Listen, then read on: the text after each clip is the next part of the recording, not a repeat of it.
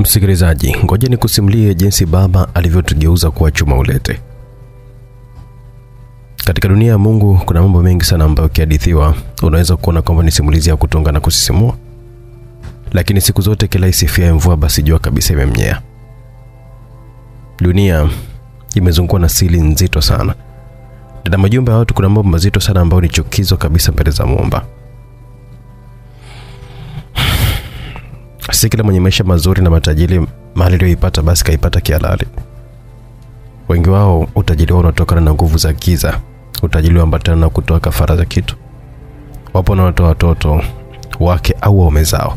Pia wapo ambao wanaogeuza watoto au wake zao au waume zao kwa mandondocha kama chuma ulete wa kuweza kuongezea kipato. Nyumba nyingi waga na vyumba vya asili ambavyo waga vifunguliwi kutokana na masharti ya mganga na kufanya watu wabaki wakiwa na maswali. Pia nyumba nyingine unakuta kunakuwa kuna mtoto ambaye akili zake si nzuri, akikaa yupo yupo tu mate akiwa namtoka ovyo, kumbe ni dawa ya utajili Ajabu, huyo ndiye ambaye anakuwa ni kipenzi cha baba ambaye anajua siri yake nyuma yake. Wapo ambao huambiwa kama mtoto atakufa basi na utajiri na huyeyuka. Ni mambo mengi sana ambayo yanazunguka jamii na uchafu wa tamaa za watu kutaka utajili kwa njia ya mkato na kujikuta wakifanya uchafu na ukatili mkubwa sana bila hata kuwa na huruma ili tu wapate utajiri. Na asema haya nikiwa na uchungu mkubwa baada ya babangu mimi kutugeuza chuma ulete kumwingizia pesa bila sikujua. Na asema haya baada ya kuteseka zaidi ya miaka saba bila kujua kumbe mateso yangu ndio ambayo ilikuwa ni chachu ya utajiri wa familia yangu. Toka nilipokuwa nimeanza kupata matatizo yaliyokuwa mpelekea mateso kila kukicha, hata siku moja sikuruhusiwa kabisa kwenda hospitali zaidi ya kutumia dawa za kienyeji, sio kupunguza hata maumivu na sikuponyesha kabisa. Miaka saba nyuma, tatizo kama langu alikuwa na dada yangu niliyemfuata mara nne, ambaye hivi sasa ni marehemu tayari. Mwanzo nilipomwona dada nilijua kwamba ilikuwa ni kidonda cha kawaida tu, japo kilinishangaza kuchukua muda mrefu sana toka nikiwa na miaka sita mpaka nilipokuwa nimekuja kuwa na utambuzi wa kujua kuwa dada yangu alikuwa anateseka na kidonda kile ambacho kilikuwa hakiponi kabisa. Miaka mitatu baadaye nilisikia ugomvi mkubwa kati ya baba na dada. Nilijificha na kumsikia dada yake anasema, nimechoka, siwezi kuteseka wakati wenzangu wakiwa wanafaidi kwa mateso yangu mimi. Siolewi, sina maisha mazuri kama wenzangu, nipo nipo tu. Haya maisha mpaka lini? Nasema sasa hivi naondoka na hili sasa, mtafute mtu mwingine na kwenda kuishi maisha yangu. Kama pesa nimekuingizia sana, naomba tu niondoke. Monika mwanangu, kuondoka kwako utaharibu kila kitu yani. Baba, wacha viharibike tu, nimechoka. Mwanangu, unajua kabisa kwamba dawa hii haitaki kabisa uchafu. Ukikutana na mwanaume tu umeharibu kila kitu yani. Ndio maana nimekuambia hivi, tafuta wengine. Baba, wewe ni kiumbe gani usiyekuwa na huruma? Miaka yote nateseka peke yangu, wakati wengine wakiwa wanafaidika tu. Watu wana majumba, wana magari ya kifahari, lakini mimi bado naishi tu maisha duni kabisa. Kuna faida gani kuendelea kuteseka? Basi nipe muda nifanyie kazi. Sina muda huo, nimechoka kabisa mimi baba. Kwa kweli, kutokana na uchanga wangu wa akili, sikujua baba na dada walikuwa wanabishania nini. Pia nijiuliza dada ana mateso gani ambayo ananiwekea baba, lakini baada ya mimi kunikuta nilielewa dada alikuwa akimaanisha nini. Maisha tuliokuwa tukiishi yalikuwa ni ajabu sana. Kwa sababu tulikuwa tukiishi nyumbani, tuliishi maisha ya dhiki sana, tofauti na utajiri mkubwa tuliokuwa nao. Tulikuwa na majumba kila kona jiji la Mwanza. Pia tulikuwa na mashine za kusaga za kukoboa ambazo zilikuwa zinaingiza pesa nyingi sana. Kaka zangu na dada zangu wote, kila mmoja alikuwa na duka kubwa, gari na majumba makubwa sana, lakini tulikuwa maisha yetu hayakulingana kabisa na utajiri wa baba yetu. Kitu kingine wakati ule kilicho kinishangaza ni hali ya mama, pamoja na kuwa na utajiri mkubwa kama ule. Kila siku mama alikuwa akiamka asubuhi na kwenda shamba ambako alilima mpaka jioni na kurudi nyumbani. Kila mara alipokurudi nyumbani alikuwa akirudi na kuni ambazo alipikia katika jiko la mafiga. Kwa vile mwanzo zilikuwa ni akili za kitoto, sikuelewa nini ambacho kinaendelea, wala wakati huo sikujua faida ya utajiri uliokuwa nao sisi. Kitu kingine ambacho sikukielewa muda ule kilikuwa ni nyumba ambayo tulikuwa tukiishi, ilikuwa ni ya zamani ambayo baba alikuwa amenunua wakati akiwa anaanza maisha. Msikilizaji, kumbuka simulizi hii fupi inakwenda kwa jina la baba alivyotugeuza chuma ulete ikiwa inasimulia kwako nami director Oi na ikiwa imeandikwa na mtaalamu wa hizi kazi bwana Ali Mbetu. Ali Mbetu ndo mtunzi wa simulizi. Nakumbusha tu kwamba unaipata ndani ya YouTube channel ya Simulizi Mix. Hii na nyingine nyingi tu simulizi fupi zinapatikana pale ndani ya Simulizi Fupi by Simulizi Mix. Hiyo ni YouTube channel ambayo inapatikana pale YouTube. Tuna pamoja kujua nini hasa kilijiri katika maisha ya huyu mtu anayetusimulia katika mkasa huu, baba alivyokuwa ameuguza au kuachuma ulete. Anasema kitu kingine ambacho sikuelewa muda ule kilikuwa ni nyumba ambayo tulikuwa tukiishi. Ilikuwa ni ya zamani ambayo baba alikuwa amenunua wakati anaanza maisha, lakini haikuwa na mabadiliko yoyote, pamoja na mabadiliko ya kimaisha kwa baba kuwa na pesa kama mchanga. Dada baada ya kubishana baba alikaa kwa wiki mbili. Siku moja nilipokuwa nimerudi sikumkuta, alikuwa ameamua kuondoka. Sikujua amehamia wapi, lakini baada ya siku tatu nikapata taarifa kuwa dada amehamia Mkuyuni huko ambako alikuwa amepanga na kufungua duka lake. Kuondoka kwa dada, nyumba iligeuka kama vile pametokea msiba, kitu ambacho kilinishangaza sana. Kuondoka kwa dada hakukuwa kitu cha ajabu, kwa vile dada na kaka zangu wote walipokuwa wametaka kuanza maisha yao waliondoka, lakini hakukuwa na mabadiliko yote yale. Baba alionekana kukosa raha, mama naye muda mwingi mkono ulikuwa uko shavuni. Kitu kile kwa kweli kilinishangaza sana.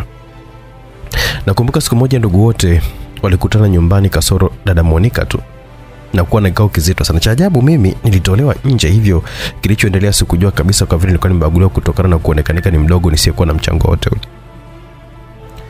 Baada ya kikao kilicho kimechukua masaa zaidi ya manne, ndugu zangu waliondoka. Kuondoka kwao kidogo kulifanya baba changamke kidogo, bila kujua kwamba alikuwa amezungumza nini na nini chanzo cha wazazi wangu kuwa katika hali ya majonzi. Nilijiuliza, ilikuwa ni dada kuondoka au kulikuwa kuna jambo kubwa zaidi? Katika akili yangu nilifikiria kuna umuhimu wa kuweza kumtafuta dada Monica ili nijue kwa nini alikuwa ameondoka nyumbani na vile vile ni mateso gani ambayo alikuwa anayapata. Kuna kitu kimoja ambacho kilikuwa kinanishangaza toka nilipokuwa nimepata akili, donda la mguu la dadangu ambalo lilikuwepo kila siku wala halikupata dawa ya kuweza kuliponesha. Nilijikuta nikipata hamu ya kutaka kujua kwa nini dada aliyesema yale maneno ambayo alionyesha machungu kuonekanika kuzu, kuzuia nyumbani asiondoke, lakini wengine wote walikuwa wameruhusiwa. Kingine ambacho kiliniacha na maswali kichwani mwangu ambacho kiliumiza akili yangu ni hali ya dada kuonekanika kama alikuwa hajaliwi na baba, tofauti kabisa na ndugu zangu tokea kwenye elimu mpaka maisha ya kawaida. Wote walikuwa na maisha mazuri kasoro yeye, lakini sikutaka sana kujua zaidi kwa vile nilikuwa bado ni mtoto mdogo nisiyekuwa na uwezo wa kuweza kuhoji jambo. Nilipeleleza anapokaa dada. Mama nieleza anakaa pembeni ya soko la Mkuyuni. Duka lake lilikuwa linatazamana na soko. Siku moja baada ya kutoka shule, nilipitia moja kwa moja hadi kwa dada. Kufika kwake sikupotea, nilifika bila tatizo kutokana na duka lake kuonekanika pia ndilo ambalo lilikuwa ni kubwa zaidi. Nilifika dukani kwake, dada aliponiona kama amefurahi sana. Karibu mdogo wangu. Asante sana dada. Umekuja na nani? Peke yangu. Umepajuaje hapa? Dada alishangaa sana. Um, amenielekeza mama, sehemu yenyewe sio ya kupotea hata. Ya, ni sehemu nyeupe. Karibu mdogo wangu. Asante sana dad. Nyumbani hawajambo? Hawajambo, mama nakusalimia. Baba anajua kama umekuja huku? Wala. Karibu soda upozeko. Nilipokea soda na kuanza kunywa. Wakati huo dada alikuwa akihudumia wateja ambao alikuwa akinunua bidhaa dukani kwake. Baada ya kumaliza kuwauzia, alinigeukia mimi. Mhm, mm za shule. Ah, nzuri tu dada. Umetumwa au? Mm, dada. Sijui kwako mpaka nitumwe. Mm, sijawahi kabisa kukuona ndio maana nashangaa ni muda gani toka niondoke nyumbani. Najua kwamba tumechukia kwa kujua kama nataka kuwanyang'anya utajiri wenu.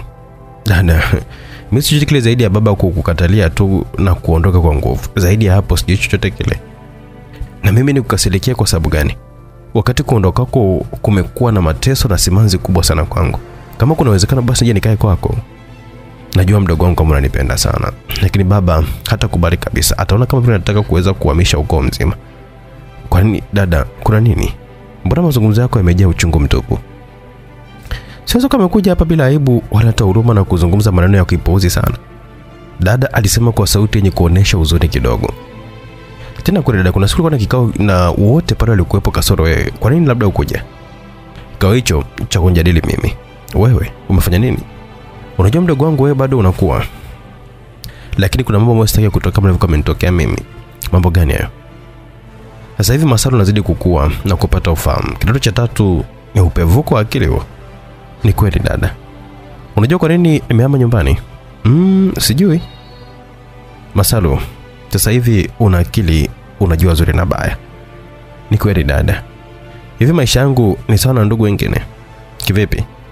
Nina nyumba? Mm, hapana. Nina gari? Hapana dada. Na mtoto? unajua ni kwa nini? Sijui. Hivi maisha tunayoishi ni sawa sana utajiri wetu? Hapana dada. Ujiulizi kwa nini wengine wanafurahia maisha, wanakula chakula kizuri, wanalala pazuri, wanatembelea magari ya kifahari. Wewe na mimi tunateseka tu wakati baba na mama yetu ni mmoja. Ugana jiuliza nikienda kwa kina kaka kule na dada au dada na kula chakula kizuri hata kulala sehemu nzuri kabisa tofauti na kwetu. Hivi uwezo baba bado mama anaweza kulima tena kwa mkono na kuokota kuni kuja kupikia? Dada, hata mimi nachanganyikiwa eti.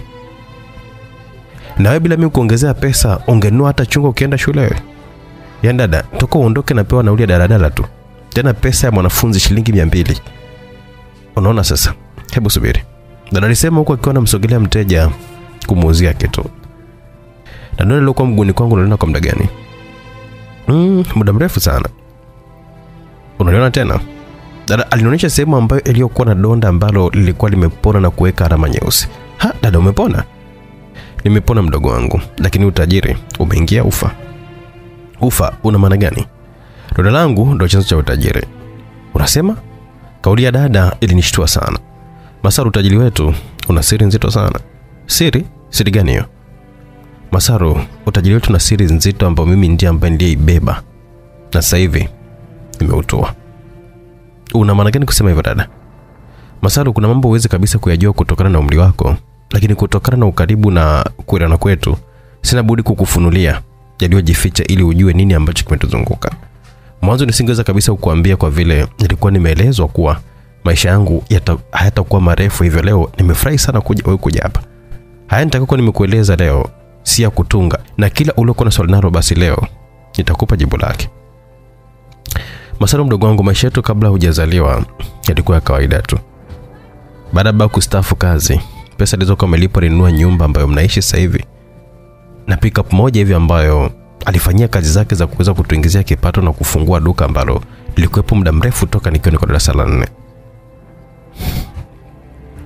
Maisha yaliendelea kuwa kawaida huku tukionekanika familia yenye uwezo kwa sisi wote kusoma elimu nzuri.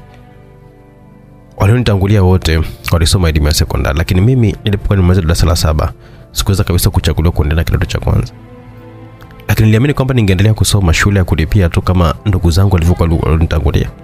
Wakati kwa tunafanya taratibu za kuweza kuchukua fomu za kuanza kidato cha kwanza, siku moja nikiwa natoka chooni usiku, kuna kitu ambacho kilinigonga mguuni. Nilipiga kelele sana kuomba msaada. Baba na mama walitoka na kuja nilipokuwa nimeshika mguu pale, huku nikiwa narukaruka, lakini cha ajabu hakuonekana kitu chochote kile cha kuweza kuwashtua kutokana na nilivyokuwa. Nikiwa na wasiwasi labda kwamba nimegongwa na nyoka, baba alinipa dawa ya maumivu tu na kunieleza kama patapona tu. Usiku nikalala vizuri, lakini asubuhi nilipokuwa nimeamka nilikuta mguu ukiwa umejaa, hata kutembea sikuweza kabisa. Sehemu ya juu kidogo ya mguu wangu wa kulia kwa ndani hivi kulikuwa kumeweka alama nyeusi. Sikupeleka hospitali zaidi ya kukandwa tu na dawa za majani. Basi mdogo wangu, mguu huo umenisumbua kwa muda mrefu bila kupelekwa hospitali. Hata muda wa kwenda shule ulipokuwa umefika, sikuweza kabisa kupelekwa shule kutokana na hali ya mguu wangu. Mpaka kipindi cha uandikishaji wanafunzi unakwisha, bado hali yangu ilikuwa ni tete, hivyo sikuweza kabisa kujiunga na sekondari. Roho niuma, rafiki zangu wengi sana walianza kidato cha kwanza, na mimi na ndani ndani na mimi sehemu ilikuwa na weusi ilikuwa ikiwasha na mwisho wa siku iliweka kidonda. Ajabu, baada ya kutoa kidonda mguuni, mguu ulirudi katika hali yake ya kawaida. Hata mtu nilikuwa ndio niliutupa kabisa. Niliona kama muujiza mguu wangu kurudi katika hali yake. Niliamini mguu wangu ulikuwa ni wa kukatwa tu, baada ya wazazi wangu kutoonyesha kabisa juhudi zote zile za kuweza kunipeleka hospitali. Hata nilipoweza kutembea sikuruhusiwa kabisa kutoka nje kama wenzangu. Maisha yangu yalikuwa ni ya uani. Kidole changu kila siku kilikuwa kinavuja maji. Mdogo wangu, wakati huo sikujua kama kidonda kile kilikuwa na sababu yake. Hali ya maisha ilibadilika, kulitokea mabadiliko makubwa sana. Kwa muda mfupi tukanua magari, tukaongeza majumba kila kona jiji la Mwanza na miradi mingi sana. Ndugu zangu walifunguliwa maduka makubwa Mwanza mjini huko, na mimi kukabidhiwa duka la pale pale nyumbani ambalo mm, lilikuwa limeongezwa vitu vingi sana na imani kwamba mpaka unapata ufahamu ulinikuta dada yako nikiwa na, na kidonda mguuni. Ndio dada, siku zote nilihoji kwa nini wazazi wangu hawataki kabisa kunipeleka hospitali au kuniweka dawa. Baba nieleza kwamba kama wakini, wataniwekea dawa ya aina yoyote ile mguu basi utaoza. ila kitapona tu chenyewe. Nami nikakubali mwanzo bila hata kujua mwisho wake utakuwa ni lini. Pia nilipewa masharti ya kutotembea na mwanaume nitaweza kufa. Kwa vile umri wangu ulikuwa upo chini usiotakiwa kuweza kujiingiza katika mapenzi, halikunisumbua sana hilo. Siku zikazidi kukatika, huku maisha yakiongezeka kila siku. Ashakuwa si matusi, nami nikavunja ungo wa kuwa na hamu ya mwanaume. Katika wateja wangu na kijana mmoja ambaye kwa kweli tulipendana sana naye na kunitamkia kabisa kwamba alikuwa anataka kunioa, si kunichezea baada ya kuweza kumweleza kwamba mimi simjui mwanaume.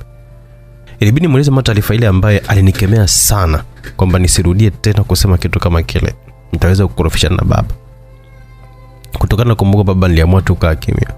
Siku zilikatika huku utajiri wa baba ukiwa unazidi kuwa wa kutisha sana, ndugu zangu wote wakiwa wananunua magari ya kifahari na kujenga magorofa. Kila nilipokuwa nataka na mimi pia kuweza kuhama nyumbani na kuanzisha duka langu kule, gari langu zuri na nyumba ya kifahari kama wenzangu, ajabu nilikaripiwa sana tena, eti kwamba nisirudie tena kabisa kusema kitu kama hicho. Majibu ya mama alinishtua sana na kujiuliza iweje wote wawe na maisha mazuri kasoro mimi. Nikajiuliza labda mimi sio mtoto wa mzee Makumiane, lakini mama linakisha kabisa kwamba ni mtoto halali kabisa mzee Makumiane, na hilo niliamua kabisa kuliacha kutokana na kumwogopa sana baba. Muda ulivyokuwa unazidi kwenda, ndugu zangu wote waliondoka na kuanzisha maisha yao na kubaki si wawili, tuna watoto wetu. Hilo liniuma sana siku ndugu zangu walipokuwa wanakuja kututembelea, kila mmoja alikuwa anakuja na gari lake la kifahari. Hiyo ilikuwa ni tisa kumi, ilikuwa ni harusi ya ndugu zangu ambazo zilikuwa zinaniumiza roho sana, na baada ya muda walipata watoto. Nilikuja kujitoa muhanga na kumfuata babangu kumwomba haki yangu kama wenzangu. Baba alinigombeza kama ilivyokuwa kawaida yake, lakini nilimweleza kwamba kama hataki basi kuna siku nitatoroka na kwenda kuanzisha maisha yangu kutokana na yeye kutoonyesha kabisa kunijali au kunipa haki sawa na wenzangu. Alinitisha kama nitajaribu kutoka nyumbani nitamtambua. Vitisho vyake havikunibabaisha baada tu ya kuona kwamba sina faida ya kuwepo pale, eti kisingizio na duka. Siku iliyofuata nikabeba kila kilicho changu na kuondoka. Mama alinibembeleza nisiondoke, lakini sikubadili kabisa uamuzi wangu. Ilibidi akimbilie baba. Alipokuja alishangaa uamuzi wangu. Nilimweza nipo tayari kwa lolote lile analotaka kulifanyia. Msimamo wangu ulimtisha sana baba na kuamua kuniweka chini na kunileza siri ambayo iliyo niacha mdomo wazi. Nikabakia mimi siolewi, sina maisha mazuri, sina mtoto, sikuwa na jinsi zaidi ya kuweza kuvumilia tu. Nakumbuka siku moja kijana ambaye alikuwa anataka kunioa alikuja pale na kuniuliza ombi lake. Siku ile baba na mama walikuwa wamekwenda kwenye sherehe ya mtoto wa dada ambaye alikuwa akipata ubatizo huko. Siku ile mdogo wangu, lazima niseme tu kweli, kwa vile sina jinsi, nilitoka na kwenda kwa yule kijana, na siku ile nilifanya naye mapenzi. Kwa kweli penzi nilikuwa nimelipata kule nilichanganya sana, nikawa sisiki wala sioni. Ilifikia wakati wa kutotoka usiku kuruka ukuta na kwenda kwa yule bwana mchezo ulinichanganya sana ese, hata kutamani kuhama kabisa nyumbani. Kumbe kufanya kwangu mapenzi kulikuwa kunasababisha matatizo katika familia. Kwa wiki moja kulitokea mambo ya kutisha. Moja, nyumba ya Malimi iliungua moto, hakuna kilichosalimika. Kabla itulia, gari la kaka likawa limepata ajali mbaya sana iliyosababisha lisirudi tena barabarani. Baba naye alivamiwa na majambazi akipeleka pesa benki za mauzo ya mwezi mzima. Hali ile ilimchanganya baba na kwenda kwa mganga kuuliza huyu ya majanga yale. Jibu aloka ameambiwa mali ilikuwa imeingia uchafu kwa mimi kuweza kufanya mapenzi. Baba alikuja juu na kunitisha, na mimi sikumkupa nimweza ukweli kwamba kama mimi ndiye chanzo cha utajiri, kwa nini sasa niwe na maisha duni wakati watu wasiojua adha ninayokuwa naipata kutokana na mali wanayochezea tu kuishi maisha mazuri huko. Nilimweleza baba kuwa kama hata nipa mali tena iwe zaidi ya ndugu zangu wote, lazima nitaondoka na kwenda kuishi maisha yangu. Baba alinitisha kusema kwamba kama nitaondoka sitakaa muda mrefu, lazima nitakufa. Vitisho vile sikuvyogopa na kumhakikishia kwamba nitaendelea tu na msimamo wangu na nipo tayari kabisa kufa, lakini si kwa kitega uchumi cha watu. Mama naye aliingia kwenye kazi ya kunibembeleza ili tu nibadili tabia zangu zilizoonekanika chafu. Nikubali kubaki nyumbani kwa masharti, na mimi natakiwa niwe na gari, duka kubwa ambalo nitamiliki mwenyewe. Tukakubaliana na mimi kufuta wazo la kuweza kuondoka nyumbani. Nilisubiri kutekelezewa ambayo nilikuwa nayataka kwa hamu kubwa sana. Mimi nilikuwa na hamu ya kuweza kuendesha gari, na mimi nilikuwa na hamu ya kuweza kumiliki mali mali yangu mwenyewe. Siku zile katika bila kuona dalili zote za kuweza kununuliwa gari wala nyumba. wakati huo nilikuwa nisimamisha penzi na ushemeji yako mambo yalizidi kunyooka kwa malimi aliyokuwa ameunguliwa nyumba yake kujenga ghorofa analoishi sasa hivi. Lakini mwenyewe sikuona kitu chote kile lakini nilipokuwa nimeuliza niliambiwa kwamba nisubiri mambo hayajakaa vizuri.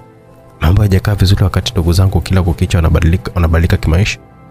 Niliona kama wananichezea tu. Nikaanza kuweka pesa zangu taratibu bila kumshirikisha mtu. Shemeji yako nikawa nimemtuma nitafutie sehemu ya kuweza kufungulia duka. Akapata huku. Nilimpa pesa za kuweza kulipia mwaka mzima na kumwambia nunue vitu vyote muhimu sana kwa ajili ya kutengeneza duka naye pia akafanya kama nilivyokuwa nimemwagiza. Unajua masalu katika maisha yangu huwezi kabisa kuamini toka nipatwe na tatizo la mguu lilikuwa limezaa kidonda sikuruhusiwa kabisa kwenda kanisani.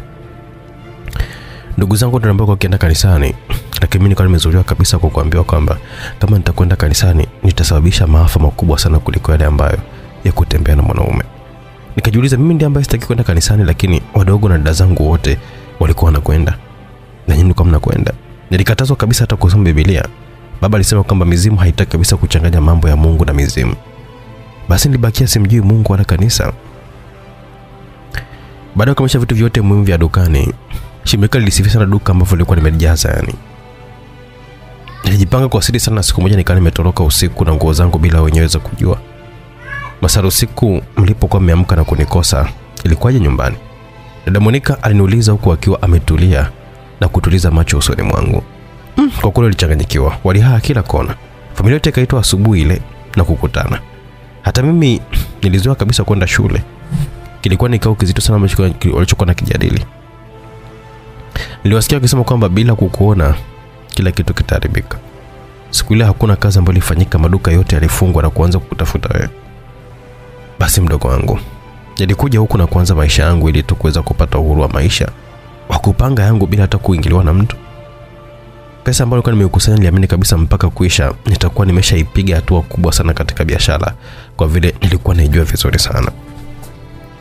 Walianza upelezi wa chini chini na kumjua mpenzi wangu ambaye walimbana kwa kumpeleka polisi ili tu awajulishe nilipo. Mwanzo waligoma kutokana na masharti ambayo nilikuwa nimempa kama wazazi wangu watamwona basi asikubali. Mpango wetu ulikuwa ni kuishi pamoja nami nilikuwa nataka yeye asirudi tena kule. Lakini kwa vile familia yake ipo kule walifanikiwa kuweza kumpata baada ya kuweza kumbana sana. Aliwaleta hapa.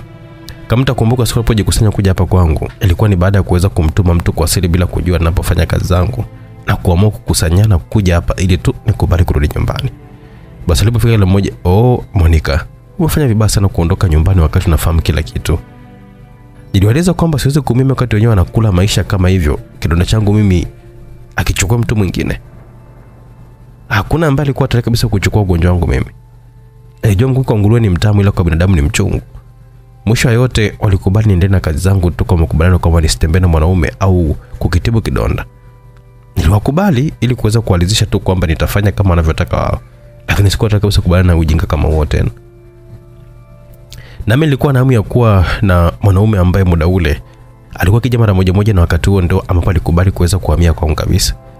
Baada ya kuondoka nilienda na mpenzi wangu ambaye muda huo nilikuwa nakaa naye nyumba moja kabisa kupika na kupaku. Sasa hivi yupo kwenye mihangaiko yake huko muda wake kurudi saa moja hivi za usiku. Ila jumapili waga haendi popote pale. Tangu nihamia huku siku hizi na kwenda kanisani kama kawaida ajabu ya mungu kidonda kilianza kupona chenye bila hata kukiwekea dawa. Kumbe kidonda changu kilikuwa kikipona na mambo yalikuwa yanabadilika katika utajiri wa familia yetu. Matatizo yalitawala kwa maduka kuibiwa vitu vyote bila kujua tatizo ni nini. Kama kawaida alirudi kwa mganga na kuelezwa kwamba nilikuwa nimeshapona pia naendelea kufanya uchafu katika mali ya familia yangu. Walijikusanya kama ilivyokuwa kawaida yao na kuja kuniomba niokoe mali ya familia Nikaeleza katu kwamba sitakubali kufanya tena ujinga kama ule. Baada ya juhudi zote kuweza kushindikana baba aliyaniapia mwaka huu simalizi lazima nitakufa nilimhakikisha kwamba yeye sio mungu. Kama kufa nitakufa kwa amri ya mungu. Wote waliondoka vichwa chini wakiamini kwamba wanarudi katika maisha ya kawaida. Tokea siku sijaona tena na maisha yangu yanaendelea kuwa kama kawaida na muda si mrefu. Na wewe pia utapata mjomba. Ah, da, dada una mimba? Ndio mdogo wangu. Mm, mungu mkubwa. Basi mdogo wangu sina ambao ulikuwa hujui ndo hiyo. Nasikia sasa hivi mambo yote hayaendi vizuri na wamechanganyikiwa kabisa huko ni kweli dada sasa hivi kila kitu baba analalamika tu na kusema kwamba angelikuwa na uwezo angekuulia mbali sasa aniwe kwa sababu gani Kwa nini watoto wa mzee Makumiane ni mimi peke yangu? Niliwaeleza mmoja kwamba ajitoe akichukua kidonda changu mimi. Kila mmoja alikaa nyuma kukimbia kabisa kidonda. Basi mdogo wangu, nikifa leo kabisa basi nimekufa kwa, kwa kuweza kukataa kidonda.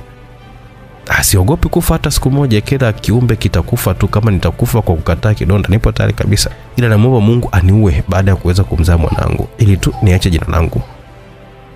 Dada alisema huku machozi akiwa anamtoka. Moyo wangu uliingia ubaridi wa uoga wa ajabu sana kwa yote ambayo nilikuwa nimeelezwa na dadangu juu ya siri nzito sana utajiri wetu, ambayo ilikuwa ikibebwa na kidonda cha dada. Kingine kilichonitisha kilikuwa ni kusikia kwamba dada eti atakufa baada ya kukataa kidonda. Machozi ya dada yaliumiza sana moyoni mwangu na kumwonea huruma sana. Dada, kwa nini usikubali kuliko kukubali kufa? Msalo, wewe ujui lolote lile katika maisha, lakini unakumbuka haya ni niyasemayo, hata kama nikifa leo utakumbuka maneno yangu. Kwa vile wote wameshazaa na kufanya mapenzi, hawezi kabisa kupatwa na kidonda. Wasiwasi wangu kikitoka kwangu kinaweza kurudia kwako. Ah, dada, mbona sio unanitisha? Kutokana na siri ya kidonda niliyokuwa nimeelezwa na baba, nakumbuka nilimuuliza kwa mfano, nikifa itakuwaje? Alinieleza kwamba itabidi atafutwe aliye safi ndani ya familia. Nikamuuliza na kama ni mwanamke tu, alinijibu kwamba ni kwa mtu yeyote yule, mwanamke au mwanaume aliye msafi. Unafikiri nani ambaye atakaweza kuchukua kidonda changu kama sio wewe? Mimi sikubali. Masaru, una jeuli ya kuweza kumbishia baba. Nitahamia kwako. Uhamie wapi? Na mimi umesikia, lazima nitakufa. Hauwezi kufa dada, ni vitisho tu hivyo. Hata nisipokufa siwezi kabisa kukubali tena hicho kidonda kisichokuwa na faida zaidi ya mateso tu. Kwa kweli sikuweza kumshawishi dada kutokana na msimamo wake mkali sana. Jioni nilipofika, niliagana na dada kukupana daladala mpaka nyumbani. Nilipofika nyumbani, nilikuwa na mawazo mengi sana juu ya maneno ya dada ambayo sikuamini kama ilikuwa na ukweli wote ule. Nilipinga kwamba utajiri wetu si kupitia kidonda chake. Nilipoangalia hali ya maisha yetu ilikuwa ya kawaida, tofauti kabisa na kauli ya dada ya kusema kwamba sasa hivi maisha ni magumu upande wa familia. Chakula tulikula kama kawaida, ambacho kwa kweli hakikuwa na hadhi ya utajiri ambao ulikuwa unatuzunguka, lakini kwa muda ule sikushtuka kutokana na maisha yale, na ndio yalikuwa ya kawaida sana siku zote. Japo kwa mbali nilikuwa nimejawa na maswali, iweje nyumbani maisha yetu yawe ya kawaida tofauti na ndugu zetu wengine? Kingine ambacho alichokisema dada kiliniingia akilini kilikuwa ni kwa mama kuamka kila siku asubuhi na kwenda kulima wakati baba alikuwa na pesa nyingi sana. Kingine ambacho nilichokubaliana na dada ni mama kuokota kuni na kuja kupikia wakati dada zetu walikuwa wanatumia majiko ya umeme na gesi. Lakini kitu ambacho sikubaliana naye ni imani za kishirikina. Kwanza maisha yetu kwamba yanategemea ushirikina wa kidonda chake. Katika akili yangu niliamini kwamba kidonda cha dada hakikuwa kimepata tu tiba sahihi, lakini baada ya kupata tiba sahihi kilipona. Nikaamini dada alikuwa anataka kunijengea tu uadui na wazazi wangu ili nione kwamba ni watu wabaya wasiofaa. Sikutaka kuweza kumwamini dada zaidi tu ya kuona kwamba anataka kuweza kunipotosha, lakini siri ile nilibaki nayo tu moyoni. Sikutaka kabisa kumwambia mtu. Siku zikazidi kukatika, nami nikawa naendelea na masomo kama kawaida, pamoja na kupuuza ya dada na kuyaona kama vile ya uchunganishi, lakini kuna vitu ambavyo vilikuwa vikinitia wasiwasi sana. Kuna siku nilimsikia baba akiwa anamwambia mama kwa sauti iliyoonyesha kabisa hawakuniona kutokana na kiza ambacho kilichokuwepo. Mama Monica, nimempampa muda mwanao wa kutosha, itakalotokea tusilaumiane. Sasa mimi nitafanyaje kama mwenyewe hajihurumii eh? Hali ni mbaya, tukiendeleza huruma tutaadhirika. Mamonika mwenyewe ilikwenda kwa Monica, lakini kiburi kimemjaa tena, amekosa hata heshima kujua kwamba anazungumza na mama yake. Mganga amenipa mwezi wa mwisho, la sivyo kihamia kwa mwingine. Unafikiri kitaenda kwa nani? Hilo swala tulizungumza baada ya kushindikana kabisa.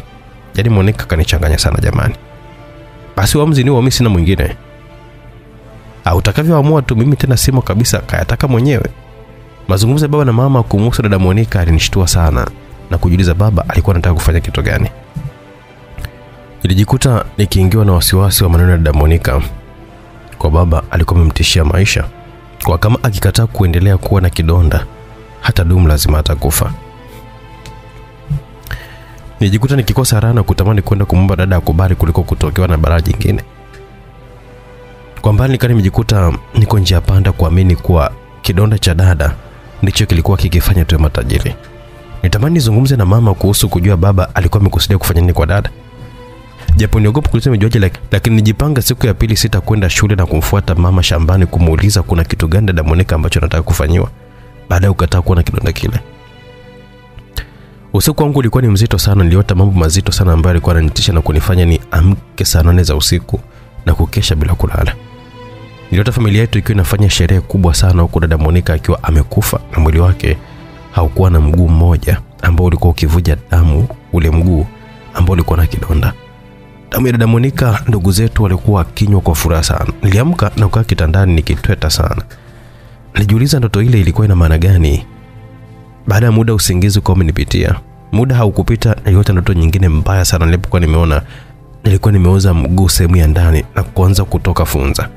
Ajabu, ndugu zangu walikuwa wanafurahia kama ndoto ya mwanzo kabisa ya kufurahia kifo cha dada Monica kwa kumla na kunywa damu yake.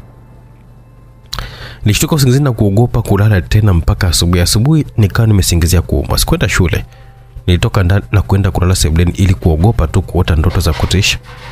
Sebuleni nilipokuwa nimelala sikuota ndoto mpaka nilipokuwa nimeamka na kujiandaa kwenda kwa mama shamba baada ya kifungua kinywa.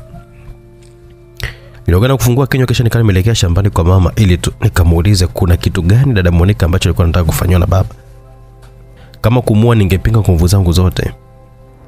Nilikwenda hadi shambani na kumkuta mama akiwa yupo katikati ya kilimo. Sikumsemesha kitu. Nikajiuliza iweje tuwe na pesa, majumba na magari, mama ateseke kiasi kile. Nilizidi kuingiwa na wasiwasi juu ya- ya mambo jinsi ilivyokuwa nafanyika. Baada ya muda nikamwita mama. Aliponiona alishtuka sana na kuniuliza, Masalu, kuna, kuna usalama? Upo mama. Si unaumwa umekuja kufanya nini? Kuna kitu nataka kuuliza mama. Kitu gani? Mama alisema huku akiwa anaweka pembeni jembe na kunifuata nilipokuwa nimesimama. Masaru, una nini mwanangu? Mama, jana nimeota ndoto mbaya sana. Ndoto gani mwanangu? Kuhusu dada Monica. Monica? Ndoto inahusu nini? Nilimhadithia ndoto jinsi nilivyokuwa nimeota. Mama alishtuka na kutulia kwa muda, kisha akasema kwa sauti ya chini, sawa, sasa wasiwasi wako ni nini? Maneno nilizungumza siku moja na dada Monica kuhusu baba kumtishia kifo, na akanieleza kama akifa basi nijue kabisa baba ndiye aliyehusika. Masaru, mama alishtuka. Naam mama. Mlifikia wapi mpaka mkazungumza hayo? Kuna siku nilikuwa nimekwenda kwa dada Monica kule na kumuuliza sababu ya kuweza kuhama nyumbani. Mama dadi alinieleza mambo mengi sana na ya kutisha sana, lakini sikuyaamini kabisa. Masaru, alikueleza mambo gani Monica? Nilimhadithia baadhi ya mambo na kisha kumweleza yeye kulima wakati tuna pesa. Eti mama, hata Kulimokoko amesema kwamba ni imani za kishirikina. Iweje tuwe na pesa wewe ulime wakati ungeweza kuwalipa watu wakatulimia? Mm, mbona makubwa? Mama alizidi kushangaa. Mama alisema huku akiwa anatoka shambani na kunisogeza chini ya mwembe. Masalu, wewe hayo unayaamini?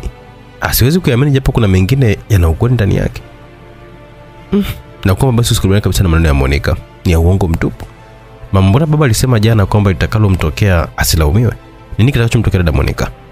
We Masalu, mama kushtuka kuona nilikuwa najua vitu vingi sana. Ilionyesha mama aliamini kwamba siyajui mengi kuhusiana na mambo ambayo alikuwa akiendelea nyumbani. Nilimwona akiwa anafuta jasho kwenye paji la uso kisha akapa kisha alinipandisha na kunishusha na kusema, Masaru, wewe ni mtoto, hujui kabisa kitu, na hata kama nikikueleza utanielewa, na kuomba uachane kabisa nayo. Swali lingemuuliza babako mngekosana sana. Mmoja nijibu jibu sio kukosana, bali kupata ukweli. Ndoka nimeelezwa na dada Monica juu ya kukataa kwake kidonda na baba kumtishia kuweza kuyachukua maisha yake. Ah, Hilo sio kweli, ni ujinga wa dada yako tu, kama kufa atakufa na yake. Mama, bali posema kwamba silaumiwe na wewe ukasema kwamba shauri yake alikuwa na maana gani? Masalu, hebu naomba usiniulize swali kama hilo tena. Mama alikuwa mkali. Niliona nibadili mada kwa kumuuliza swali jingine. Alafu mama, kwa nini tusitafute mtu atulimie na wewe ukapumzika? Tuna faida gani ya kuwa na pesa na wewe mama ukawa unaendelea na kuteseka na kulima? Masaru, hebu nakuomba ondoke na kuona kabisa umekosa maneno ya kuzungumza hapa. Mama alikuwa mkali. Kila neno ambalo nilikuwa nalisema kwa mama lilimuudhi. Sikutaka kabisa kuendelea kurumbana, niliamua tu kurudi zangu tu nyumbani na ikiwa bado nina, nipo njia panda. Wazo lake lilikuwa ni kwenda kwa dada Monica kuweza kumweleza kubaliana na matakwa ya wazazi ili tu asije kabisa kujutia maisha yake. Nilipofika nyumbani nilijawa na mawazo mengi sana kuhusiana na majibu ya mama. Nilipanga siku ya pili nitaaga na kwenda shule, lakini kituo changu cha kwanza kabisa kilikuwa kwa dada Monica kumweleza hali halisi kutokana na maneno ya baba. Siku ile sikushinda na furaha kabisa, kila nilipokuwa nakumbuka ndoto nilizokuwa nimeota usiku na majibu ya mama. Japo niamini mama hawezi kabisa kumweleza baba nilikuwa nimemuuliza, bado nilikuwa na wasiwasi kama atamweleza basi lazima baba angeweza kunishikisha adabu kufuatilia mambo yasiyonihusu. Lakini siku ilikatika bila kuuliza swali lolote na baba, zaidi tu ya mama kuweza kuniita na kunionya kwamba sirudi tena kuuliza mambo yale wala kuweza kumuuliza mtu yoyote yule. Nilimwahidi mama kwamba sitarudia tena kumweleza wala kumweleza mtu yoyote yule. Kwa furaha ya mama alinipa pesa ya kula shule, kitu ambacho hakuwahi kabisa ukifanya zaidi ya kila siku kunipa nauli tu. Niliamini ile itanisaidia kuweza kuongeza nauli ya kwenda kwa dada. Usiku nilipokuwa nimelala, ndoto ya jana yake kajirudia tena. Najikuta nikiteseka sana kwa mara nyingine mpaka asubuhi kwa kuogopa. Kila nilipokuwa nafumba macho yangu, njozi mbaya zilikuwa zinanifuata chumba, nikiogopa na kujiuliza, njozi zile mbaya za dada Monica kuliwa nyama huku familia yote ikifurahia zilikuwa na maana gani? Kilichonitisha mguu wangu kuoza na kutoa dudu, nilijikuta nikiwa naogopa kufumba macho na kubaki macho mpaka kuna kucha. Alfajiri nikasikia habari zilizonishtua sana. Nilisikia baki akimwambia mama, aliyoyataka mwanao yametimia. Unataka kuniambia Monica ame ishi hapo hapo? Nastaki kabisa utoe chozi. Unajua nini tuliambiwa?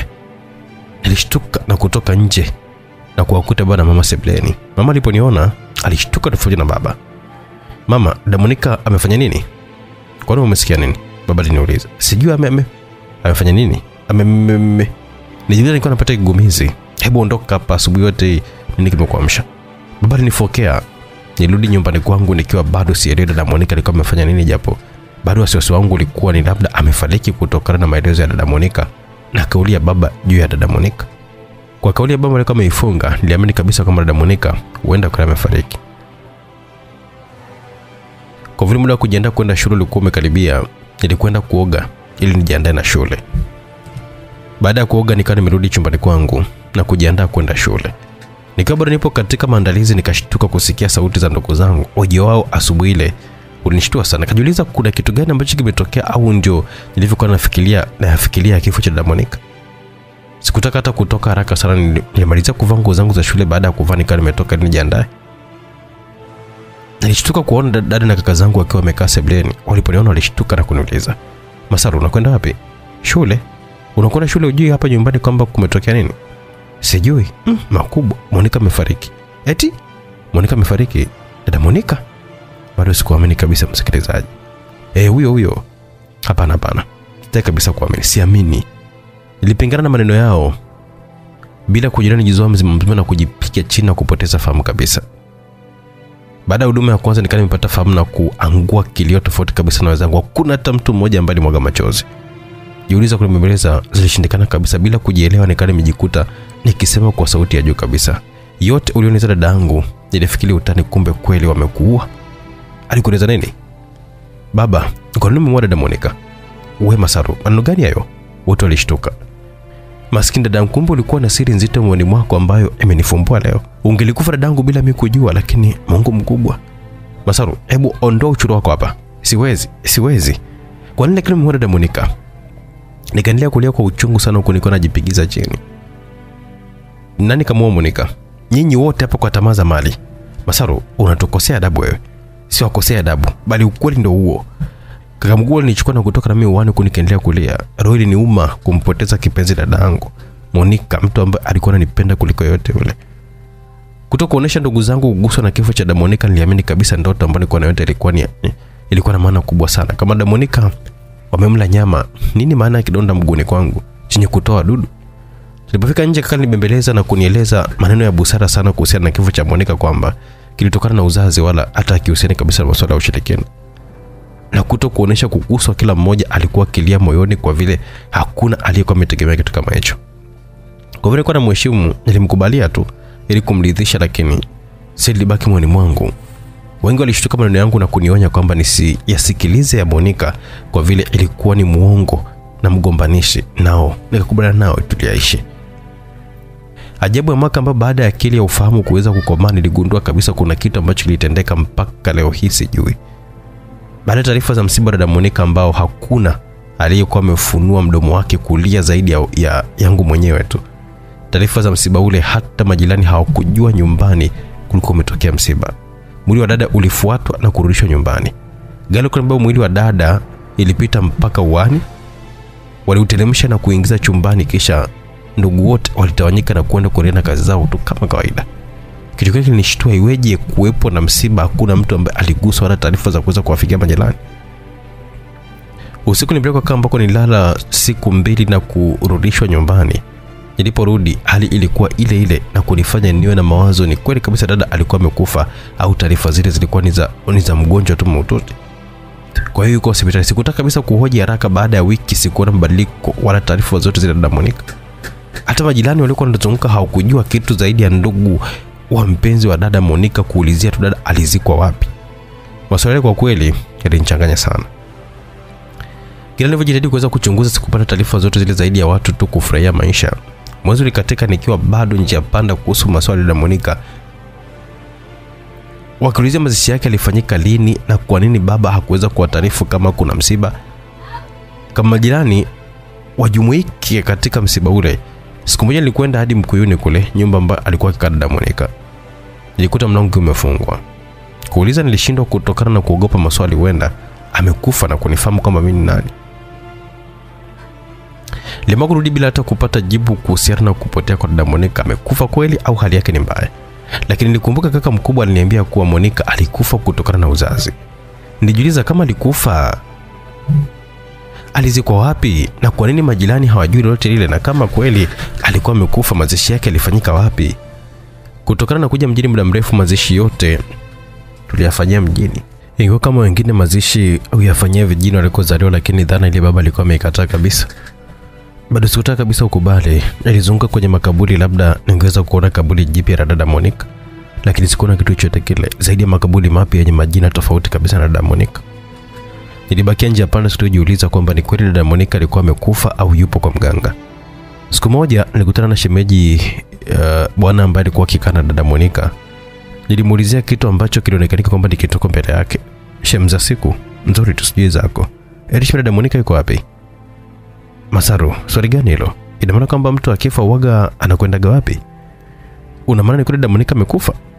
Masaru, kioje gani ambacho nataka kunionyesha hapa? Ina maana wakati Monica anakufa wewe ulikuwa uko wapi? Sasa kama amekufa maiti yake imezikwa wapi? Ah, mimi nitajua wapi wakati alifukuzwa? Kama kazikwa mbona hakuna kaburi lake? Masaru, upo sawa? Kwa nini unanionaje? Na kuona upo sawa kabisa. Nipo sawa na akili timamu kabisa. Kama kweli na akili timamu, usingeniuliza swala la kifo cha, cha Monica. Shem, kama dada alikufa, mbona mume wako kuwepo msibani? Masaru, nilifukuzwa kama mbwa na kutishiwa maisha. Kwanza nikionekanika nimesimama na wewe hapa, nitajitafutia balaa bure yani.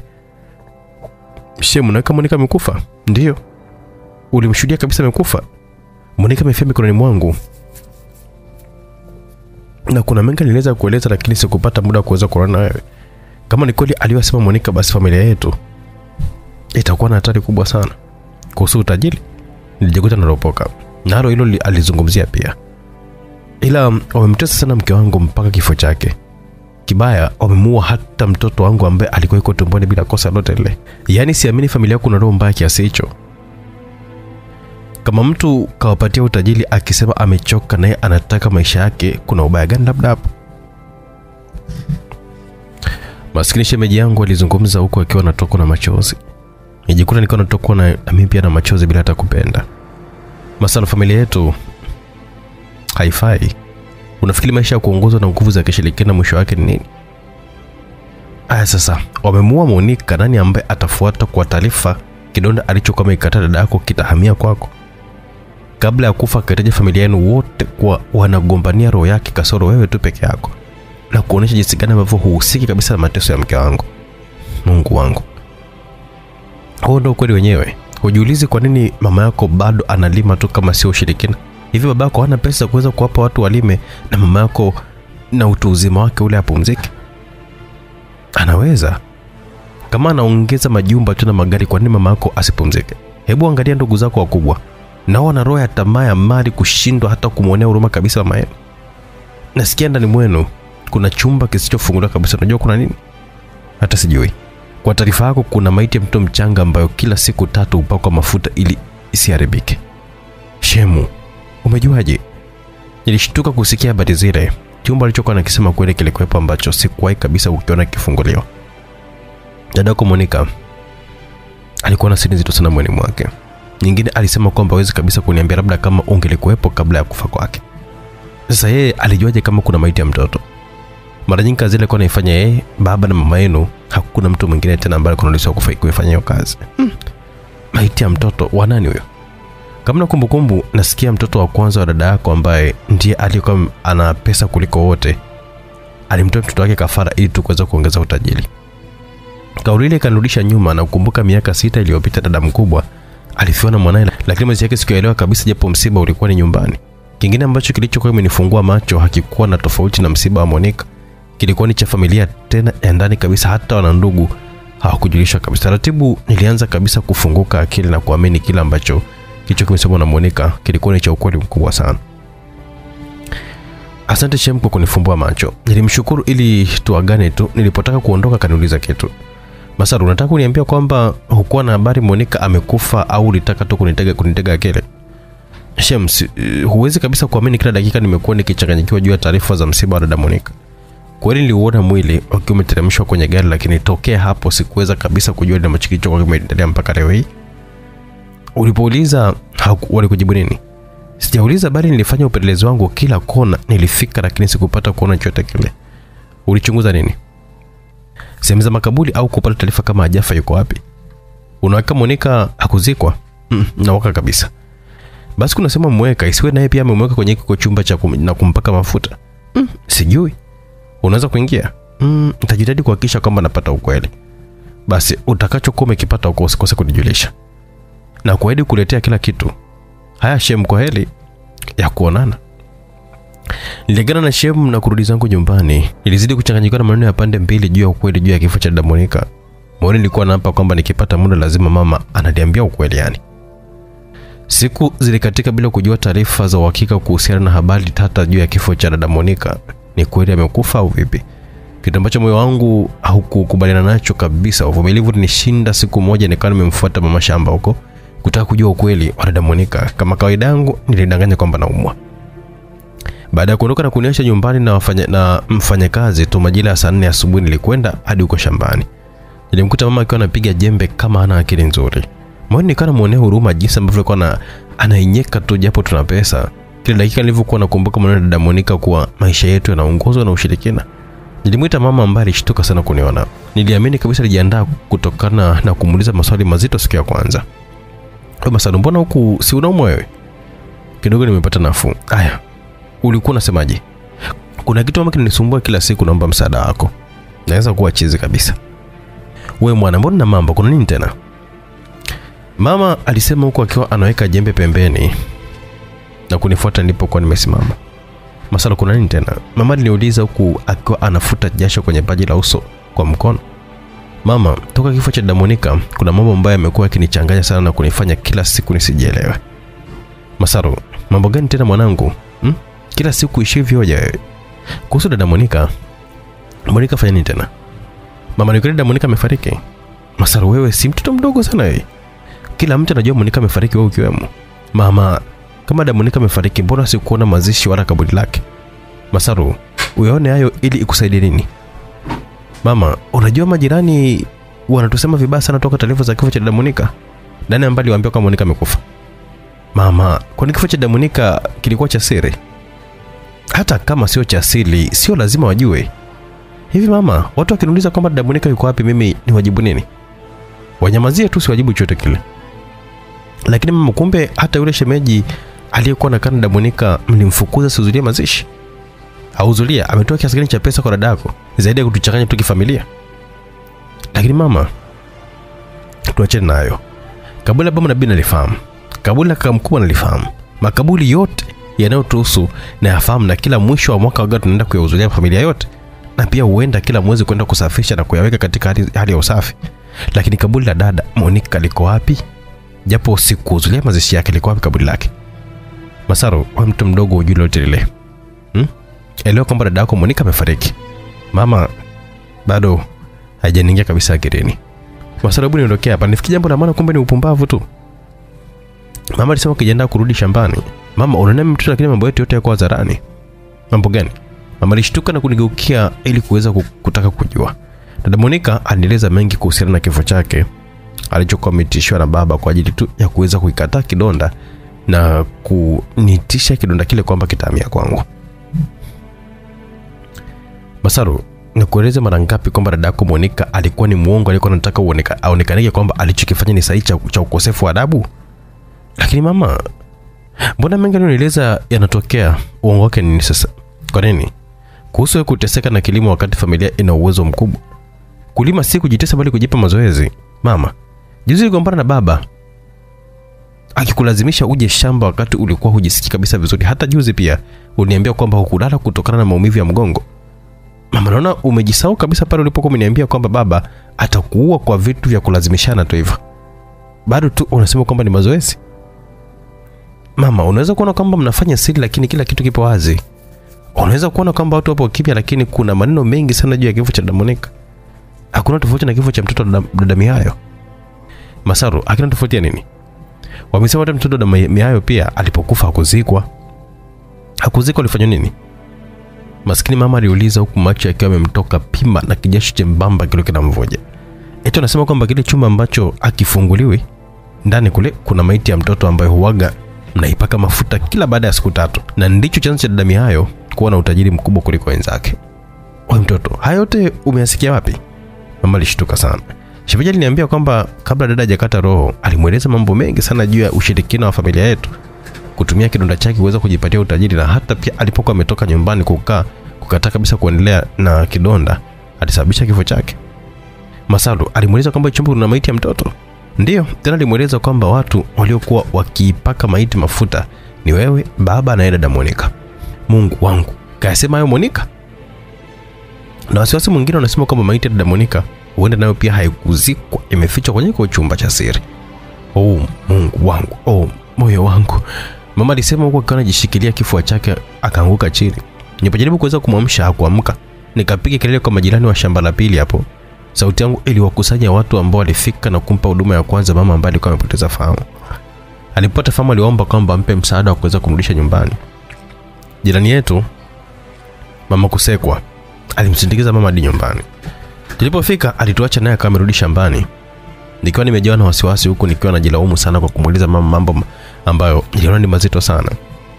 Nilikuwa niko pembeni ya mama ambaye alikuwa bado amejilaza tu kwenye zulia pale huku akiwa anapulizwa na upepo wa feni.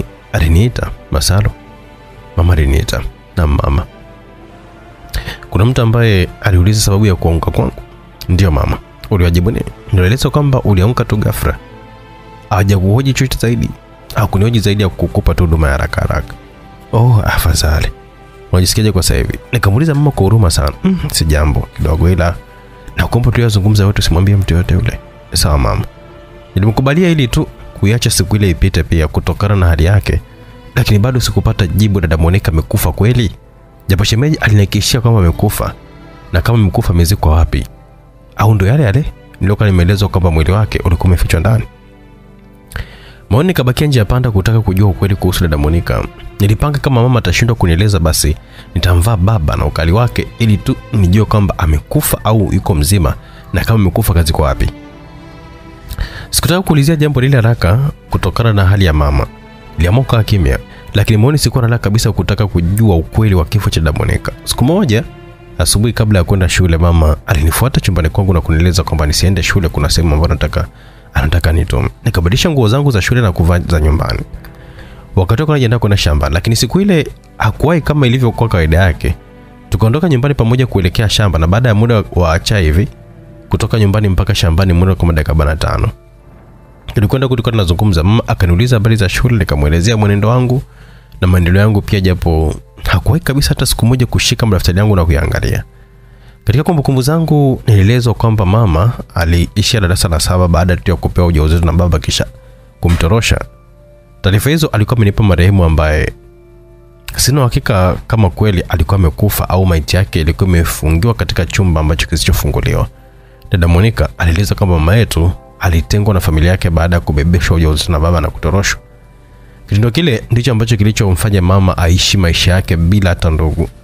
Ndugu yake mkubwa alikuwa ni baba, kitu ambacho kilichomfanya baba amnyanyase kwa kujua kwamba hana pa kwenda. Sabuni ndio ilimfanya mama aweze kuishi kama mtumwa, kwa vile kila alipokuwa anafanya kwa sababu alikuwa anamtishia kumfukuza. Kwa kweli kitendo cha baba nilikiona ni cha kikatili sana. Kila dakika nilikuwa najikuta nikiwa namchukia baba kwa roho mbaya na ya kuweza kuitesa familia yake kwa ajili ya mali.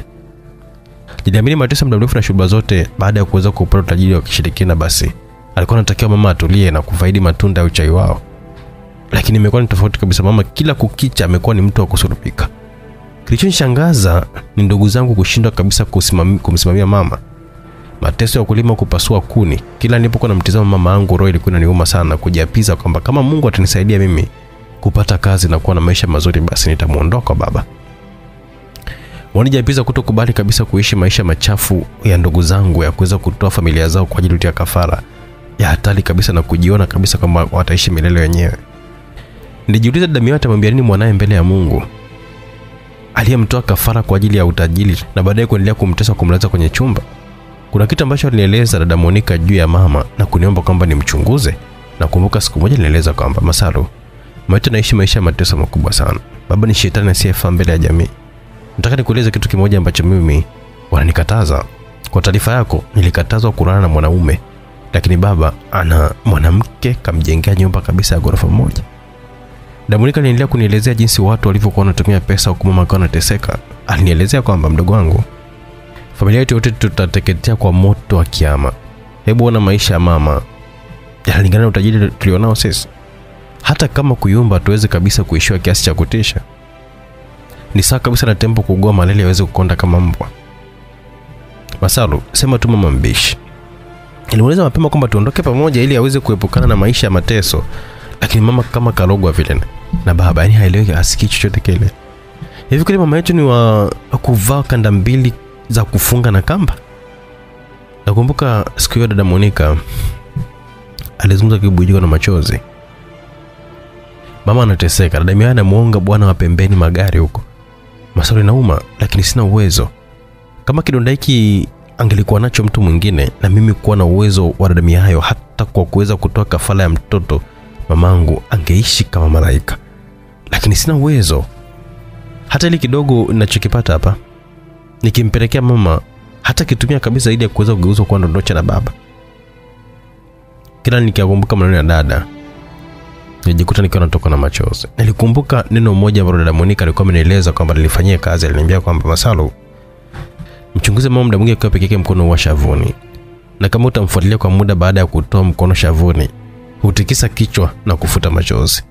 Katika maisha yetu toka tupate utajiri wa kishirikina, furaha ya mama imetoweka kabisa. Kutabasamu kumekuwa ni kama ajali, lakini kulia kumekuwa ni kitu cha kawaida sana kwake. Mara nyingi mama amekuwa akiwa peke yake, kanga uoga iko mkononi ili kuweza kufuta machozi. Vitu vile alifanyia kazi na kumwelezea dada Monica yote ambayo alikuwa ameeleza kwamba ni ya kweli. Akaniuliza swali jingine, Masalu, umeisha kumwona mama akivaa nguo mpya? Hapana, nilimjibu. Hebu jifikirie mama yetu ni wa kuvaa nguo zilizokuwa zimeachwa na wanawe. Nilikuwa sijui kama ujui, hata macho yako hayaoni. Masalu, sasa hivi wewe ni mtoto, unaona vitu ambavyo baadaye vinataka, vinataka majibu kwa kile ambacho tulichokiona. Huwezi kuamini dada, nilikuwa ni kama nimefungwa akili hivi. Unachonieleza sasa hivi ndio kama vile kwangu kinapambazuka hivi baada ya kukaa kizani kwa muda mrefu sana. Kama usingenieleza haya, ningekufa kibudu. Niliamini kabisa kuwa dada monika kama kweli amekufa, basi alikuwa amekufa na mengi moyoni mwake, sawa na samaki mwenye mengi ya kuweza kuzungumza, lakini kila anapofumbua mdomo maji alikuwa anamjia mdomoni. Kama alivyoeleza shemeji kabla ya kufa, kutokana na maelezo yake mengi, angenieleza mengi mazito. Nilipofika shambani, mama kuonesha kama alikuwa anataka kulima. aliweka chini ya mti huku akionekanika mwingi sana wa mawazo. Baada ya ukimya mfupi, mama aliniita jina langu, Masalo. Naam mama, najua umesikia mengi sana juu ya maisha yetu, lakini hakuna ukweli kwa yote ambayo uliyosikia. Naomba wapuuze, sawa baba? Lakini mama, mbona yote niliyoelezwa na ukweli? Ukweli upi? Mama, kwanza naanza na wewe. Toka nipate akili sijai kabisa ukuona ukiwa unafurahia kila siku. Ni mtu wa masikitiko, tunakutoka na machozi. Ha, Masaru, umejuaje? Madamonika kanieleza mambo mengi sana ambayo nilikuwa nimeyafanyia kazi na kuweza kupata ukweli juu yako wewe. Ukweli gani? Kuhusu muda mwingi kuweka mkono shavuni na kutoka na machozi. nilikufuatia bila kujua na kuupata ukweli. Pia uvaaji wako wa nguo mama, toka nipate akili sija kuona ukiwa unavaa nguo mpya au zilizokuwa nzuri pia mama. Hebu angalia ndala zako hapo. Kwa maisha tunayoishi, wewe sio wa kuvaa ndala za kufunga na waya. Niliposema vile, mama alijiangalia, ni kama vile akujua alichokuwa amekivaa alipokuwa anatoka nyumbani. Mama, najua yote anatokea kwa ajili ya nini? Kwa ajili gani? Haya ni mateso anayokupa baba baada ya kutengwa na ndugu yako, na chanzo cha yote akiwa ni yeye. Kutokuwa na ukaribu na familia yako, katumia kama ni fimbo kuweza kukuadhibia. Hivi mama, hata wanao pia wengine wanajali wao tu na kukusahau wewe. Bila wewe wangejuaje hii dunia? Mama, maisha unayoishi sio mazuri. Nilisikia eti baba alikutishia maisha kama utataka utataka mambo makubwa. Haya ndio ambayo alikuwa amekataa Monica na kuondoka. Anaweka ishi maisha yale mazuri. Matokeo yake mnaamua kumuua na kuificha maiti yake. Masaru, nani kaificha maiti ya Monica? Iko wapi? Masaru, swali gani hilo? Kila anayekufa si anazikwa? Mbona mtoto damu yayo hakuzikwa? Masaru, unaka gani?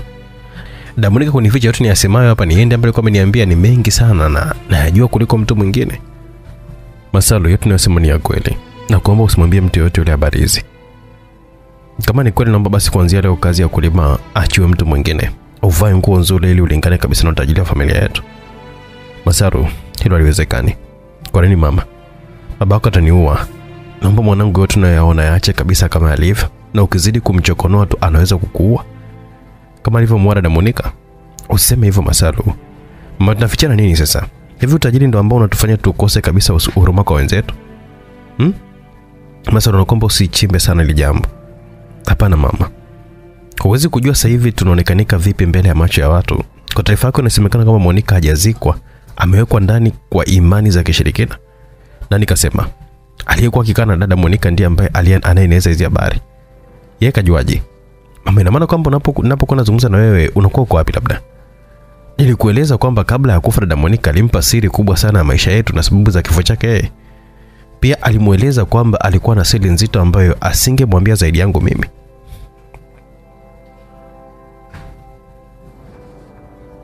Mm, sasa huyo kijana kinamhusu nini kutangaza vibaya? Kinachomuuma ni kumuulia mtoto wake asiyekuwa na hatia. Hivi baba yako akijua kwamba ndiye anayetutangaza vibaya kwa watu, kutakuwa na usalama kweli? Atamfanya nini? Masalu, wewe acha babako, hana dogo kabisa, anaweza hata kumkata kichwa yani. Akimuua atapata faida gani? Si ndio atakuwa anaongeza chuki kwa watu. Masalu mwanangu, kwa umri wako, hata hata kama nikikueleza kitu hutanielewa kabisa. Hebu nakuomba kila ulichokisikia liache tu jinsi lilivyo tu, bado mtu mdogo sana litakuchanganya wewe. Sawa, nimekuelewa, ila naomba ukweli wa jambo moja. Jambo gani hilo? Kuhusu ukura dada Monica. Ukweli upi? Ni kwamba amekufa? Ndiyo. Amezikwa wapi? Mm, si makaburini? Makaburi gani? Kuhusu kujua makaburi gani, sikwenda kuzika mimi. Kuna makaburi tofauti na tuliyoyazoea? Hakuna. Na misiba yote huanzia kanisani kisha kupelekwa kuzikwa, si ndio? Ndiyo. Sasa msiba wa dada Monica mlipeleka kanisa, kanisa gani? Masalu, hata kama ukijua itakusaidia nini? Aliyekufa amekufa, huwezi kabisa kumfufua. Hata kama siwezi kumfufua dada Monica, ndiye kipenzi changu mimi. Kaburi lake kwangu mimi ni kielelezo cha kuweza kumwona kipenzi changu. Masalu, hebu naomba swali liache kama lilivyo, achana nalo kabisa. Yote nitaachana nayo, ila sio dada Monica. Masalu, ukitaka kujua mengi utakosana na babako. Kwa hiyo ukweli dada Monica maiti yake haikuzikwa, si ndio? Masalu, nakuomba mwanangu, chonde chonde, achana kabisa na hayo ili maisha yako yawe salama. Kwa hiyo nikitaka kujua baba ataniua, si ndio? Hawezi kuwa, ila utakuwa matatizoni. Mm, sawa mama. Nilikubali kwa shingo upande tu kutokana na kuonekanika kumweka mama katika wakati mgumu sana. Sikutaka kumsumbua sana mamangu kutokana na maelezo ya dada Monica. Kila nilipokuwa namtizama nilikuwa namwonea huruma sana. Nilimwahidi mama toka moyoni mwao kwamba sitaulizia chochote kile kuhusiana na dada Monica wala hata kitu chochote kile kuhusiana na familia yetu. Kauli yangu ilimfurahisha sana mama na kuonekanika hawezi kabisa kuamini nilichokuwa nakisema. Kweli Masaru, Kweli mama, nakupenda sana mama yangu. Asante Masaru, na kwamba kile ambacho unachokijua huenda hata mimi mwenyewe mama yako sivijui, kwa vile babako alimpenda sana Monica, hata siri zingine sijui ambazo alikuwa amekueleza wewe, na pengine kabla ya kufa angeweza kukueleza. Maskini yangu alisema huko kanatoka na machozi, kitu kichozidi kuniumiza, nami machozi yakawa yameanza kunitoka kwa mbali. Nimekuelewa mamangu, nimekuelewa, sina budi kusikiliza wewe. Asante Masaru, siku zote niliamini kwamba wewe na Monica ndio watoto wangu ambao wanaonijali sana. Endelea kunijali mwanangu, wewe ndiye tegemeo langu, soma unikomboe mimi mama yako. Nitafanya hivyo mamangu, na kuahidi kuwa kimbilio lako. Asante mwanangu. Baada ya mazungumzo marefu sana tukawa tumerudi nyumbani, lakini bado yalikuwa ameniacha na maswali lukuki moyoni mwangu. Nilijikuta nikiwa nakubaliana na shemeji bwana wamwonika kwamba mwili wa dada ulikuwa umefichwa ndani pamoja na mtoto wa dada Mihayo. Siku tatu baadaye, siku tatu baadaye nilipata taarifa za kusikitisha sana za kifo cha utata cha shemeji ambaye alikuwa ni bwana wa taarifa zilizokuwa zimenitisha na kuamini mazungumzo yangu na mama juu ya taarifa zilizokuwa zinasambazwa na shemeji zilimfikia baba na kuamua kufanya umaruhuni wake. Ndugu alisema kwamba alipokuwa nyumbani alikuwa ameanza kusema kwamba anasumbuliwa na kichwa, huku akiwa anasema kwamba kama akifa atakuwa ni baba. Na usiku alipiga kelele akiwa anataja jina la baba, kitu ambacho kilichozidi ku, kuniaminisha kwamba anahusika moja kwa moja ili tu kuweza kumkomoa baada tu ya kusikia kwamba akitutangazia sifa mbaya za familia yetu. Kifo kile kiliongeza sifa mbaya kufikia hatua familia aliyekuwa mpenzi wa marehemu dada Monica kuja kutus, kutushambulia kwa maneno ya, kutu, ya kutuita si wachawi. Siku nilikuwepo, mama wa marehemu alikuwa amekuja nyumbani na kuanza kutoa shutuma nzito sana, kusema kwa sauti ya juu kabisa, huku watu wakiwa. Mmeniulia mwanangu kwa imani zenu za kichawi ili tuwe matajiri. Kumua mtoto wa Mihayo amkurizika, mmemua Monika na kumficha huko ndani kama chama. Bado tu mmeona kabisa haitoshi, mmeamua kumwona mwanangu. Nawaambia damu ya mwanangu haiendi bure. Taarifa zile zilipelekwa baba ameita polisi na kumchukua yule mama na kumpeleka kituoni. Kwa kweli kilichoendelea sikujua zaidi tu kumsikia baba akiwa anatamba na kwamba atamuonesha. Majina ya mama kupelekwa polisi, familia yetu ilikuwa imetawaliwa na sifa mbaya ambazo wengi walikuwa wamezisikia na kuzisambaza kwa watu kuwa maisha yetu yametawaliwa na utajiri wa kishirikina uliokuwa unapitia kidonda cha marehemu dada. Nijikuta nikiwa naishi maisha ya kukosa amani. Hata tembe yangu pia ilikuwa ni ya mashaka kwa kuhofia kwamba maneno ya watu. Siku zilikatika, walisema mchana usiku watalala. Walizungumza sana na mwisho wakawa amenyamaza na kusaulika kabisa, na maisha yakawa yameendelea. Katika maisha yetu hakuna kilichobadilika. Nilimaliza kidato cha nne kwa kupata matokeo mabaya sana. Niliamini kufanya vibaya kulitokana na migongano ya mawazo ambayo ilikuwa imetokana na kuchanganywa na mambo yote ambayo yalikuwa yametokea yakiwa nahusu familia yetu. Na taarifa niliz- nilizokuwa nimepewa na dada kifo chake na matukio mengi sana ya kishirikina yalikuwa imelenga familia yetu. Wazo la kurudia mtihani kidato cha nne kilipingwa na baba na kusema kwamba atanipatia shughuli nyingine. Lori ni uma kwa ndoto zangu zilikuwa ni kusoma kwa bidii ili tu siku moja nimkomboe mamangu kwenye mateso ya kuweza kuwekwa kifungoni na baba. Miezi sita baada ya matokeo mabaya ya kidato cha nne, baba alionyesha mapenzi makubwa sana, tofauti na zamani, hata kuzunguka naye pia kila kona kwenye shughuli zake. Siku nyingine alikuwa ananipa pesa ya matumizi ambazo alieleza kwamba nikanunue tu kitu chochote kinachokitaka. Kwa akili za kitoto nikawa nimeanza kubadilika na kuyaona yote niliyokuwa nimeelezwa juu ya ukatili wa baba ni, ni uongo mtupu. Baba alikuwa ni mtu mzuri kwa kuweza kununulia nguo za thamani sana. Nikaonekana kuwa ni kweli ni mtoto wa mtu mwenye pesa tofauti na mwanzo ambavyo nilivyokuwa nasoma shule. Baba siku zote alikuwa ananisifia sana kwamba mimi ndiye mtoto ambaye anayenipenda kuliko wote. Kauli zile za baba zilinifanya nisahau hata wazo la kuweza kumuuliza juu ya dada Monica. Siku moja tulikuwa tumekaa kwenye moja kati ya hoteli ya baba huku akiwa ananiruhusu kula ninachokuwa nakitaka mimi. Baada ya chakula, baba alikuwa amechukua na kuingia naye kwenye ofisi yake ambayo ilikuwa iko ndani ya hoteli ile ambayo sikuwahi kabisa kuingia siku za nyuma. Baada ya kuingia ofisini, baba aliendelea kunimwagia sifa. Masaru, unajua kwamba nakupenda sana kuliko watoto wangu wote. Najua baba, hebu niambie unataka nini nikufanyie ili tu ujue kwamba nakupenda sana. Cha kwanza kunipa nafasi ya kurudia masomo ambayo nilikuwa nimeanguka katika mtihani wangu ili nifanye vizuri bado nami kuendelea kusoma. Tofauti na hilo, siwezi kusema kwa sasa mpaka nitakapokuwa nimefanya mtihani wangu wa marudio. Masaru, kusoma sio muhimu sana kwako. Kama pesa zipo, nitakufungulia mradi wako tu ili uendelee kuendeleza maisha yako. Lakini Masaru, hakuna haja ya- kubishana hapa. Naomba ujiandae, kuna duka moja hivi nimelifungua huko na kuanza kazi, ndio umetoka msimamizi mkubwa. Nijikuta nakosa cha kuzungumza na kukubaliana na baba tu, japo nafsi yangu ilikuwa inataka kusoma ili nimkomboe mamangu. Nilijua kukubali mradi ule, japo utakuwa uko chini yangu, bado utakuwa na nguvu za kishirikina tu, kwa kuhofia kwamba huenda siku za mbeleni, baada ya kuoa na kupata mtoto, akatolewa kafara. Bali nitolea hati za kumiliki duka lile lenye jina langu kabisa na kunionyesha sehemu ya kusaini.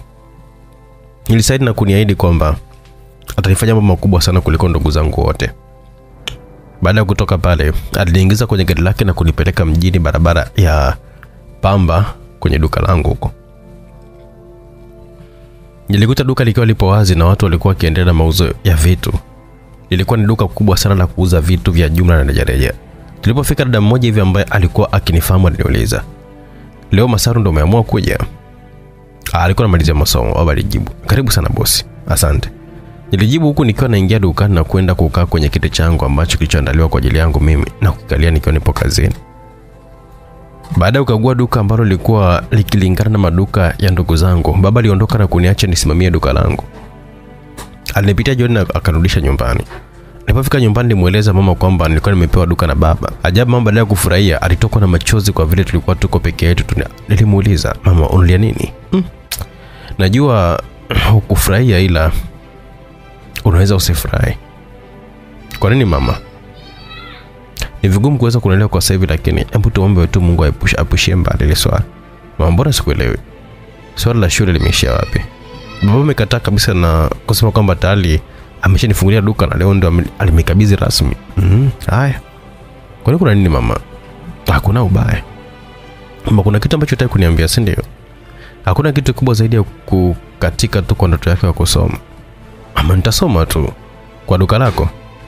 Si unaona ndugu zako walivyo busy na maduka yao tu, hata muda wa kunikumbuka mimi hawana. Mama, nitajipanga. Siku hizi kuna masomo ya jioni. Siku zilikatika, biashara nayo ikanazidi kushika kasi kweli kweli. Hata mwili wangu ulibadilika kabisa na kuonekanika mtu mzima kutokana na kunenepa. Hata sauti yangu ikabadilika kabisa.